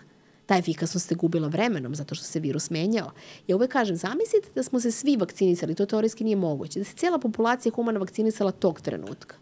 Virusa verovatno ne bi bilo sutradan. Mm -hmm. Mislim sutradan, govorim metaforički. E, e, ono što je moglo da se radi u pandemiji, to je da se pokrene finansijski rizik i to je da krene proizvodnja pre završenih svih kliničkih ispitivanja. I oni su, ako se sećate, po cenu propasti finansijske, mnogi su propali, nisu sve vakcine zaživele, tada zapravo započinjali proizvodnju, udruživali su se kompanije, jedne su proizvodile igle, druge špriceve i tako dalje, kako bi kada dokaže efikasnost zapravo mogli da primene vakcinu. I šta je još ubrzalo? Vi ste tada mogli da vakcinišete uh, i da uh, niste morali da čekate sezonu korone, da ispitujete kliničke faze u realnom vremenu, jer je korona bila tu, tako da ste mogli da ispitujete zapravo odmah realno stanje i zaražavanje na koje niste morali da čekate, jer nekada morate da čekate slučajeve koji se dese, pogotovo ako bolest nije frekventna i tako dalje. U ovom slučaju ste to mogli da pratite u realnom vremenu i sve je to ubrzalo samu proizvodnju, ali platforma je već bila tu. Dokaza to je kolikom brzinom možemo da adaptiramo vakcine kada su nove varijante u pitanju, promeni se zapravo um, samo ta informacija. Mi već za dva meseca imamo prilagođenu vakcinu novu varijantu. To što su varijante brže od vakcina, mm -hmm. to je sada drugo pitanje, ali hoću da kažem da to nije nešto što je... Preko noći, nego se godinama istraživalo. Absolut. I decenijama zapravo. Da, decenijama. A, a, ja bih pomenula da su profesori sa farmaceutskog fakulteta napravili a, brošuru baš Jest. za a, COVID vakcine u Srbiji. Ja ću ostaviti link ispod epizode, pa koga interesuje, kome nije ovo bilo dovoljno, neka pročita dodatno, Tako detaljnije. Je. U suštini smo odgovorili na najčešće postavljena pitanja vezana za vakcine. Da li biste vi nešto dodali, nešto o čemu se malo priča kada je vakcinacija u pitanju, a da želite da ovde sada podelimo? Pa nemam zapravo ništa specijalno. Ja bih samo podvukla da uh, smo svi mi uh, tu da odgovorimo na pitanja i da podvučem to da, kako bih rekla, vakcina nije, e, odgovor neću da vakcinišem svoje dete, nosi sa sobom određene konsekvence. Ja bih samo to želela da podvučem, da budemo svesni kao roditelji, da mi odlučujemo za zdravlje naše dece i da ne treba taj rizik, čak i da je on minimalan. Znači, kada biste vi zapravo, kada bi se stavio na papir i napisalo uh, imaš šansu kao roditelj da uh, daš prevenciju detetu, koja je bezbedna, i ima šansu da e, tvoje dete 1 ili 2%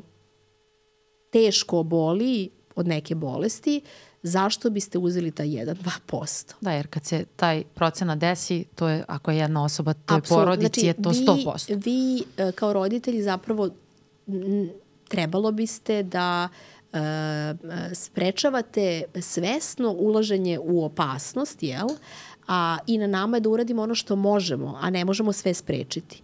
E, tako da sve što je provereno i što postoji e, ne treba da izbegamo iz straha, ali isto tako e, želim samo da kažem da je svaki strah opravdan.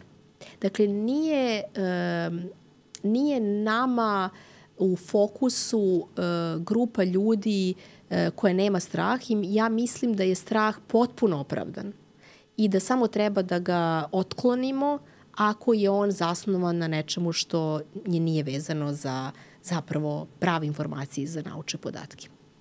Dakle, vakcina nije nikako verovanje. Da, to, to su činjenice.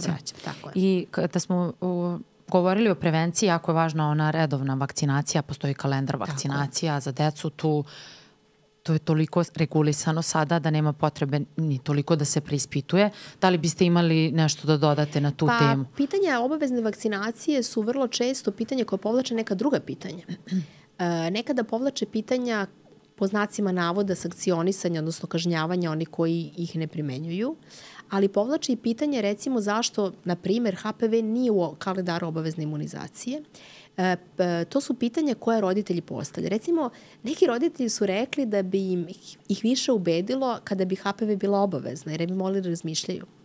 Ali nekima bi to ulilo potpuno drugi otpor. Da. Hoću da kažem da nema idealne, uh, idealne uh, uh, politike vezane za to kako ćete nešto da implementirate, jer će i jedna i druga po znacima navoda e, spro, način sprovođenja e, nailaziti na otpor i zato ne može ništa da se univerzalno e, stavi. Ono što je deo kalendara obavezne vakcinacije praktično u celom svetu tako. Mislim, tu nema nikakve spektakularne razlike. Mi smo nešto kasnije nego svet uveli obaveznu vakcinaciju protiv hepatitisa B, jer smo na vrlo sličan način kao HPV zapravo imali a, bolesti vezani karcinome za, od hepatitisa B i smrti koje u svetu već nisu bile uopšte interesantne ovaj, zato što su imali vakcinaciju. Dakle, s tim smo nešto kasnije krenuli. Isto tako krećemo i sa HPV-om. Pohvalno je da je to sad široko onda dijapazon godina od 9 do 19 i da je besplatno, tako da e, roditelji, e, kako bih vam rekla, kada bi bilo opet e, ograničen broj vakcina ili mogli da se vakcinišu samo osmaci, Čekao opet, bi se, da. Pa to hoću da kažem. Ili bi se ali, jurilo ili bi se, bunili bi jeste, se svi ljudi. Ali ideja je da se u ovom trenutku što više njih vakciniše. Da. Vakcina, znam da uh, je strategija da se e, zahte, potražnje i nabavke zapravo bude ekvivalent, tako da nikad ne nestane vakcina i da u tom smislu e, svi oni koji su, da kažem, raspoloženi ili dolaze za vakcinaciju, to mogu da urade bez nekih prevelikih administrativnih peripetija, zapravo ih nema čini mi se da je u našem narodu čudno to što je besplatno, pa onda sumnjaju i u to, ali mislim da smo sada dali odgovore. A i da se na... plaća bi bilo sumnjivo, tako pa da, da mislim nema, nema ideala. Nema pravog tako odgovora, je. ali mislim da smo dali yes. dosta odgovora u ovoj epizodi i ako ljudi imaju još pitanja, neka postave u komentaru, pa ćemo možda neki naredni put opet pričati. Jeste. Ako hoćemo sigurno. Tu sam, naravno. Vama hvala puno što ste izdvojili vreme i što se, što, hvala vam na svemu što predstavljate i što ste tu uh, za nas i za opštu populaciju, jer mali broj stručnjaka se odaziva ovako da, da priča o Hvala ovoj temi. Hvala vama na pozivu, prvo mi je izuzetno prijatno.